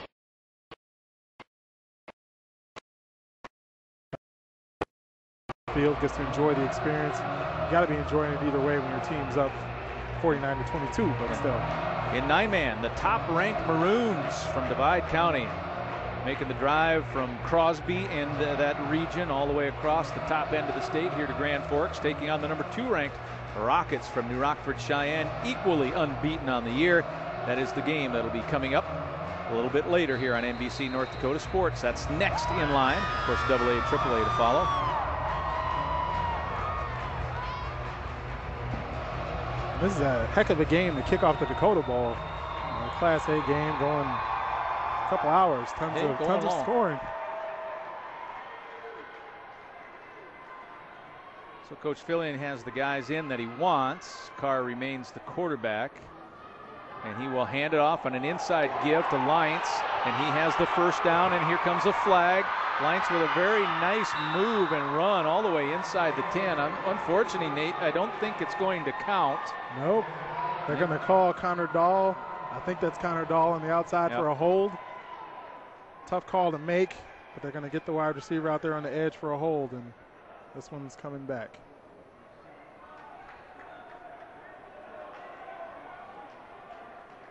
Would have been the biggest offensive play of the day for Leintz holding, green, 10 yard penalty, replay first down.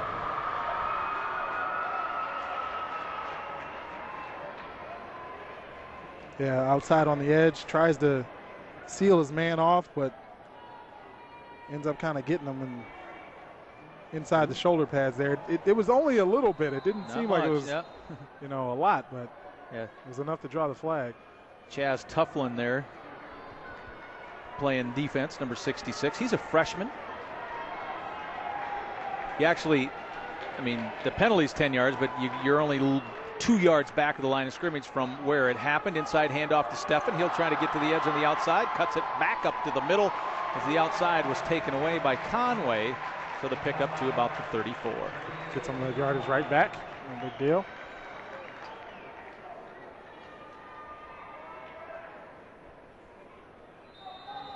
Been really impressed with Hazen's offensive line today. They've been running that spread option. They've been running that play very well, and the offensive line has been opening up holes all day, getting a lot of push up front. Been a great day by the Hazen offensive line. Hintz Kryl, Hill, Cieslak, and Moss, and others who have rotated in. But that's the main starting five for Hazen. And here comes Borneman trying to work his magic once again. He does. He Oh. ducks under a tackle. Borneman takes it to the wide side, and he is going to go 34 yards for the touchdown. He ducked right underneath the guy who caught nothing but air, and Borneman sails away to another score. You got to be kidding. I thought he was pent up. And right when you said trying to work magic, sure enough, he pops out of the crowd and he's gone for a touchdown. I don't know how he got out of that. Let's take a look at the replay here. Great vision, great footwork, keeps his balance. Whoop, and he's gone. Unbelievable. What a day this guy's had. He's going to Wow. remember this one for the rest of his life. Briar Borneman missed the first five games of the year and has come back and has been so instrumental in Hazen's continued improvement in the second half of the season. And then it's uh, Hazen's close to dominance in the playoffs. So is he making up for lost time or what? Yep. 55. Make it, fif- nope, stays at 55. 55 22, a 33 point lead now for the Hazen Bison. We'll be right back with more on this Class A championship game after you see this.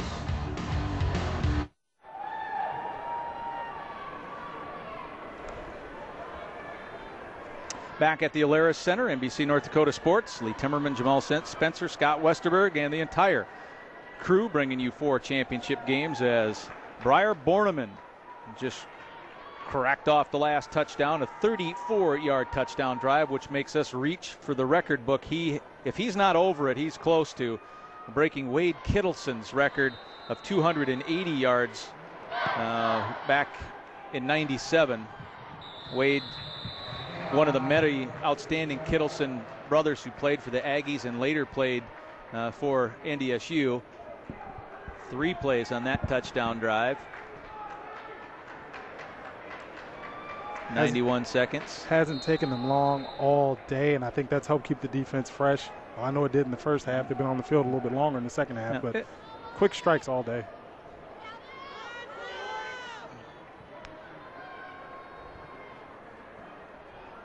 and through the air has been about the only means of moving the ball for the Sioux here in the second half. And now you'll give it on the ground, and you'll just let your big guy pound it. You're- You're 540 away and 33 points down.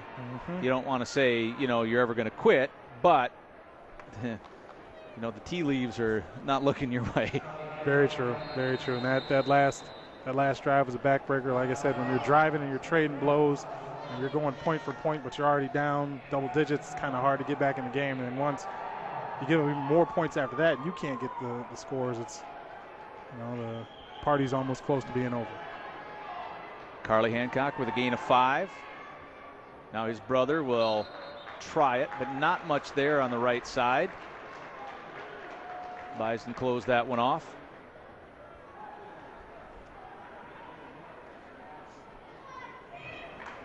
Actually, may have lost a yard on the play.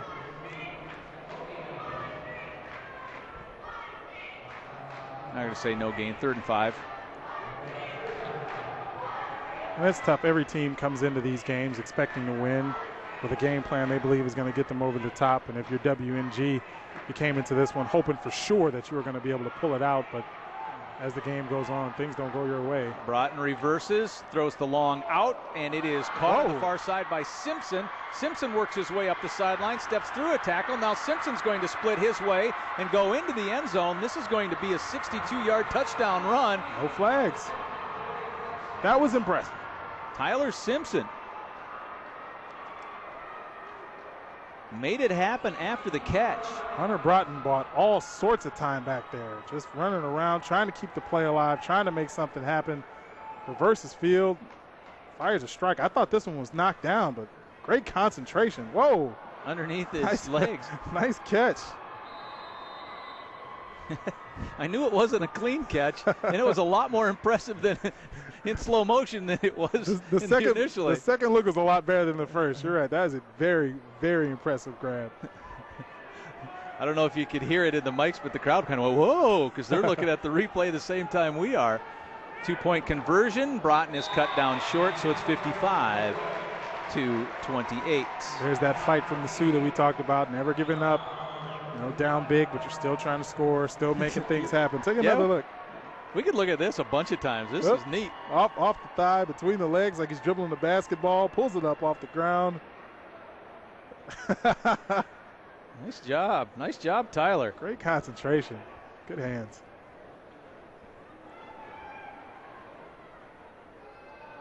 Four sixteen to go, so that comes less than two minutes after Hazen's score. Tell you these teams aren't breaking the huddle very fast. They're probably they're fine. We're staying here as long as we can, just to try and catch our breath. Exactly. Both teams going up and down, up and down. Three plays, 67 yards. And most of that was on the 62 yard touchdown reception by Simpson, just under two minutes, a minute and 51 on that drive. So Hazen scored in three plays, and then on the third play, after the Sioux get the ball back, WNG, three plays. off they go.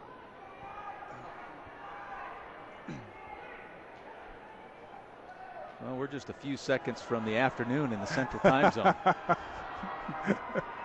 this, this game's been going on for a while. Deep kick. Borneman take it at the 11. And he is up to about the 28 yard line.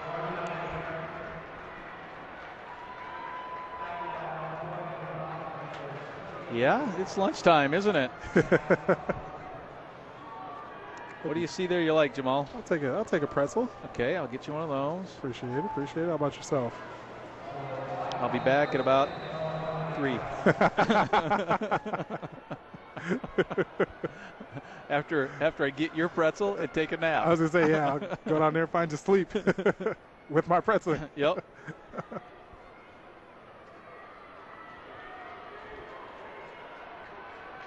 Well, you would kind of make the assumption that Hazen would like to grind a little clock here, but as many big plays as happened on the ground, I don't know if it's going to happen. Leintz will try to bust one up, and he does.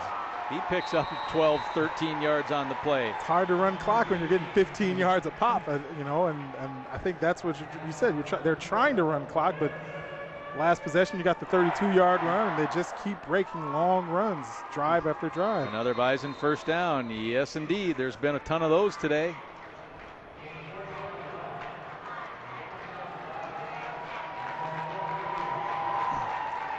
As Borneman comes to the sideline, being replaced, and I don't know if he's going to go back in, but uh, he- what a what a workhorse day it's been for Briar. No need for him to go back in at all. First and 10 play. They hand it off to Leintz again. Boy, Nate's doing a good job of keeping both arms around the ball. Sound football here, especially when you're trying to run the clock. You don't want to turn the ball over. You don't want to make any mistakes. Two hands on the ball. First and foremost, protect the rock. 286 That is record. yards. There we go. That's a record. The 286 yards today for Briar Borneman, a Dakota Bowl record, and not just a Class A record. We mean all classes, all games, everything within the Dakota Bowl. So congratulations to Borneman.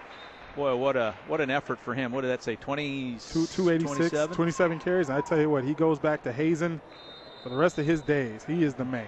walking, walking around town telling everybody, you remember that time in the state championship game? I Had a record-setting performance.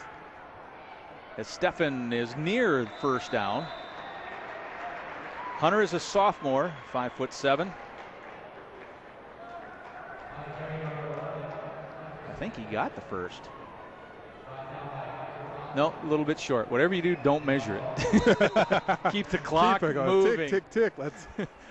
Whatever you decide is fine with everybody. You're right, dude. It'll be third down in inches. and they give it to the fullback again, and he Looks like he got it. Got the inches needed, not many more. You know, you know, both nine-man teams are sitting in the back going, "Oh man, Yep. when's it going to be our turn?"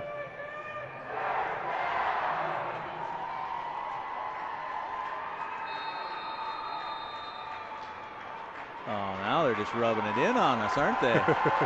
but then again, as much as the crew rubs it in about all this lovely lunch food, they're not getting any either. Nope, they're stuck in the truck. so you can show it all you want. We're inside of two minutes of this Class A title game, and the Bison are loving the way it looks. Carr will roll back out of it, and he tried to get his receiver to break. He did, and the floats a dangerous pass up, and it is caught. It is caught over there. I think that's Mason Weedrick. when it's going your way, it's going your way. But there's Carr just directing traffic. He, he looked back and said, No, I want you to go out, even though Weedrick was probably primarily blocking on that play, and it did pick up a first. Sure Mason's he, a freshman. He's got no problem going out to catch a pass. He said, "Fine, I can, I can stop blocking for a minute."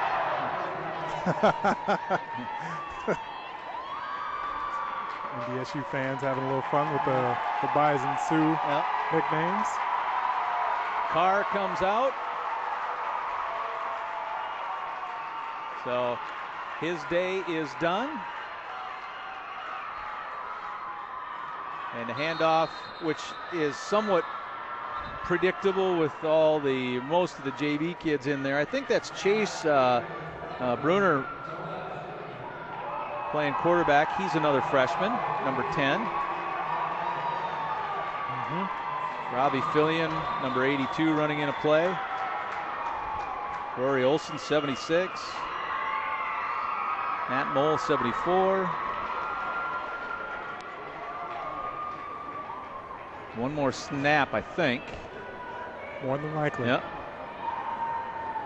Look at Bruner. Just he. Hey, I'm checking her out like a veteran. I'm going to wait till the the clock gets to two. Snap it, knee it.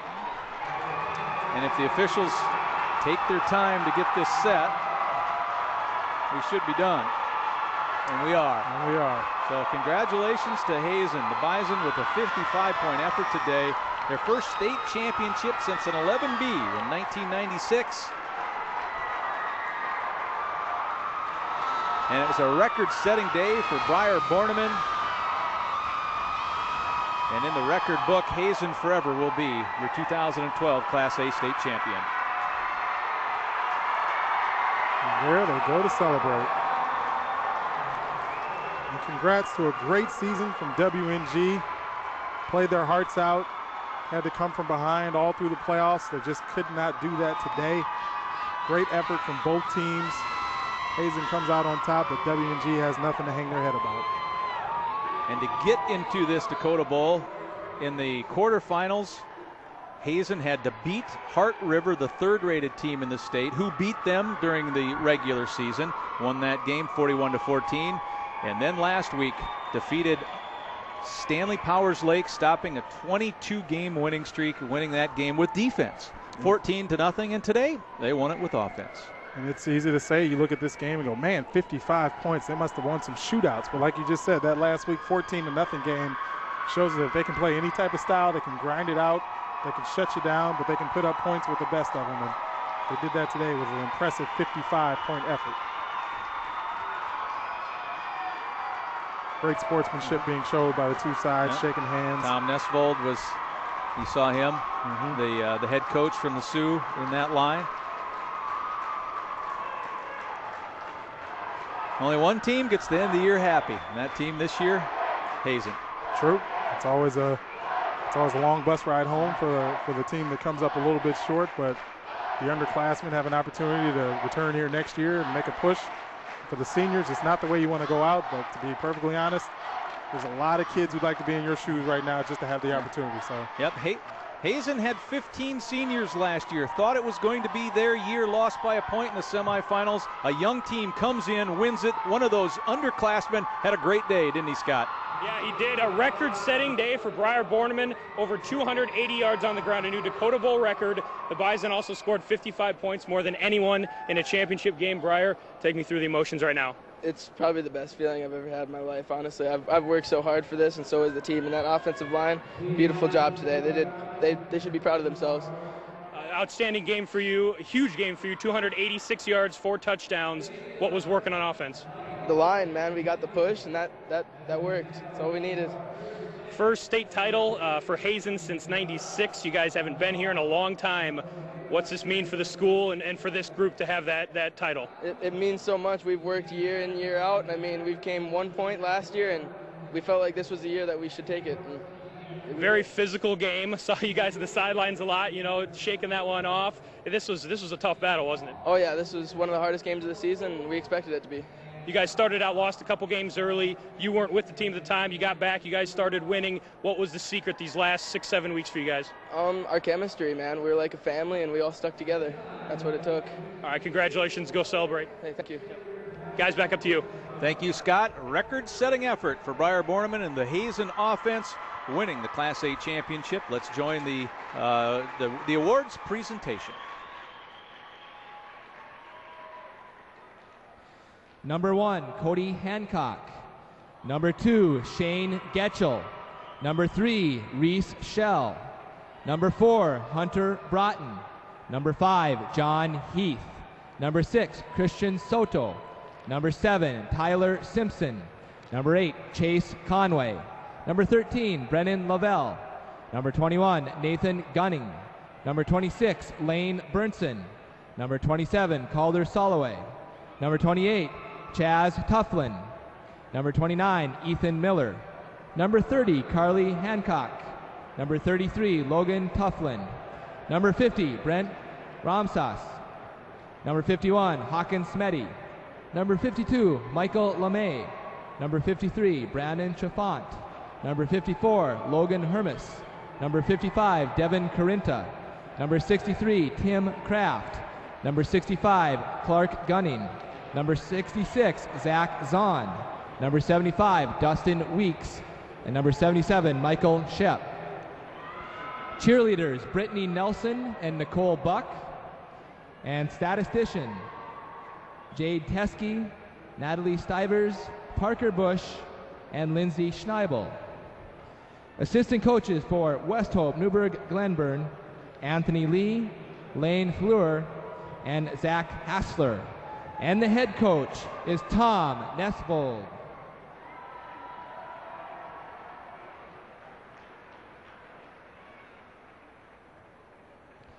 And now, individuals from Hazen. Number one, Brett Borneman. Number three, Hunter Fears. Number six, Mason Weidrich. Number seven, Stetson Carr. Number eight, Connor Dahl. Number nine, Dominic Opp. Number 10, Chase Bruner. Number 11, Hunter Steffen. Number 12, Mason Fout. Number 19, Josh Earhart. Number 20, Logan Seiler. Number 21, Tyler Wassam. Number 23, Jonah Zimmerman. Number 25, Carl Hayes. Number 33, Nate Leintz. Number 50, Jaden Reich. Number 51, Evan Reich. Number 52, Kyle Larson. Number 54, Denzel Sanders. Number 55, Demarcus Smith. Number 57, Seth Kryl. Number 61, Patrick McCarthy. Number 63, Austin Hintz. Number 66, Hunter Richter. Number 73, Connor Hill. Number 74, Matt Moll. Number 75, Sterling Berger. Number 76, Rory Olson. Number 77, Austin Cieslak. Number 79, Michael Moss. Number 80, Starlin Summer. Number 82, Robbie Fillion. Number 84, Alex Valley. Number 86, Scott Borneman. And number 88, Josh Schneider. Cheerleaders, Katie Palmer, Kaylee Knoll, and Delaney Wiedrich. Statisticians Kim Elwine, Marissa Fisk, Kaylee Albertson, and Savannah Winkler. Assistant coaches for Hazen Brett Johnsrud, Justin Ingold, Warren Riedrich, Paul Wallander, Joel Marshall, and Chris Sorensen. And the head coach of Hazen, Rick Fillion.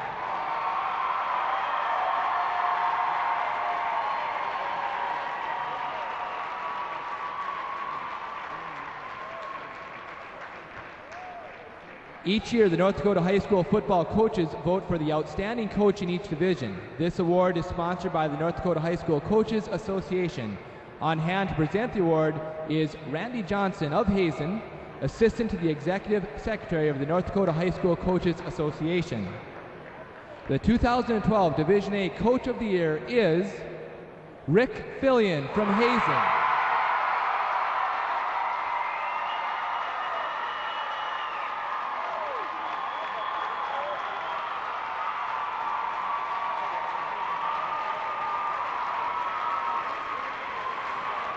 The North Dakota Division A coaches have selected the following individuals as finalists for the Powerade Outstanding Senior Athlete Award.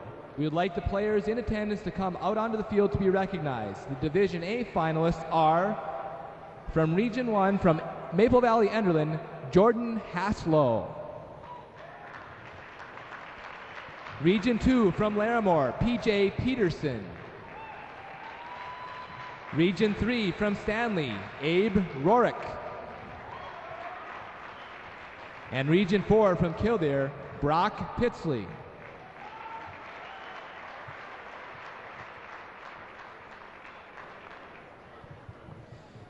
And the 2012 Division A Powerade Outstanding Senior Athlete is Abe Rorick from Stanley.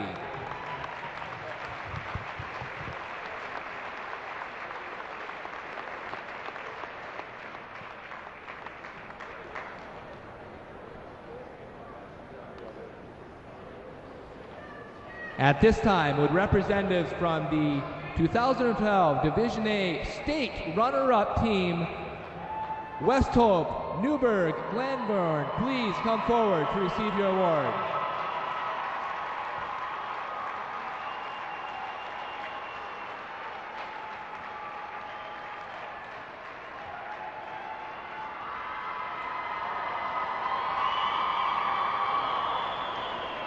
And the 2012 Division A Dakota Bowl champions, the Hazen Bison.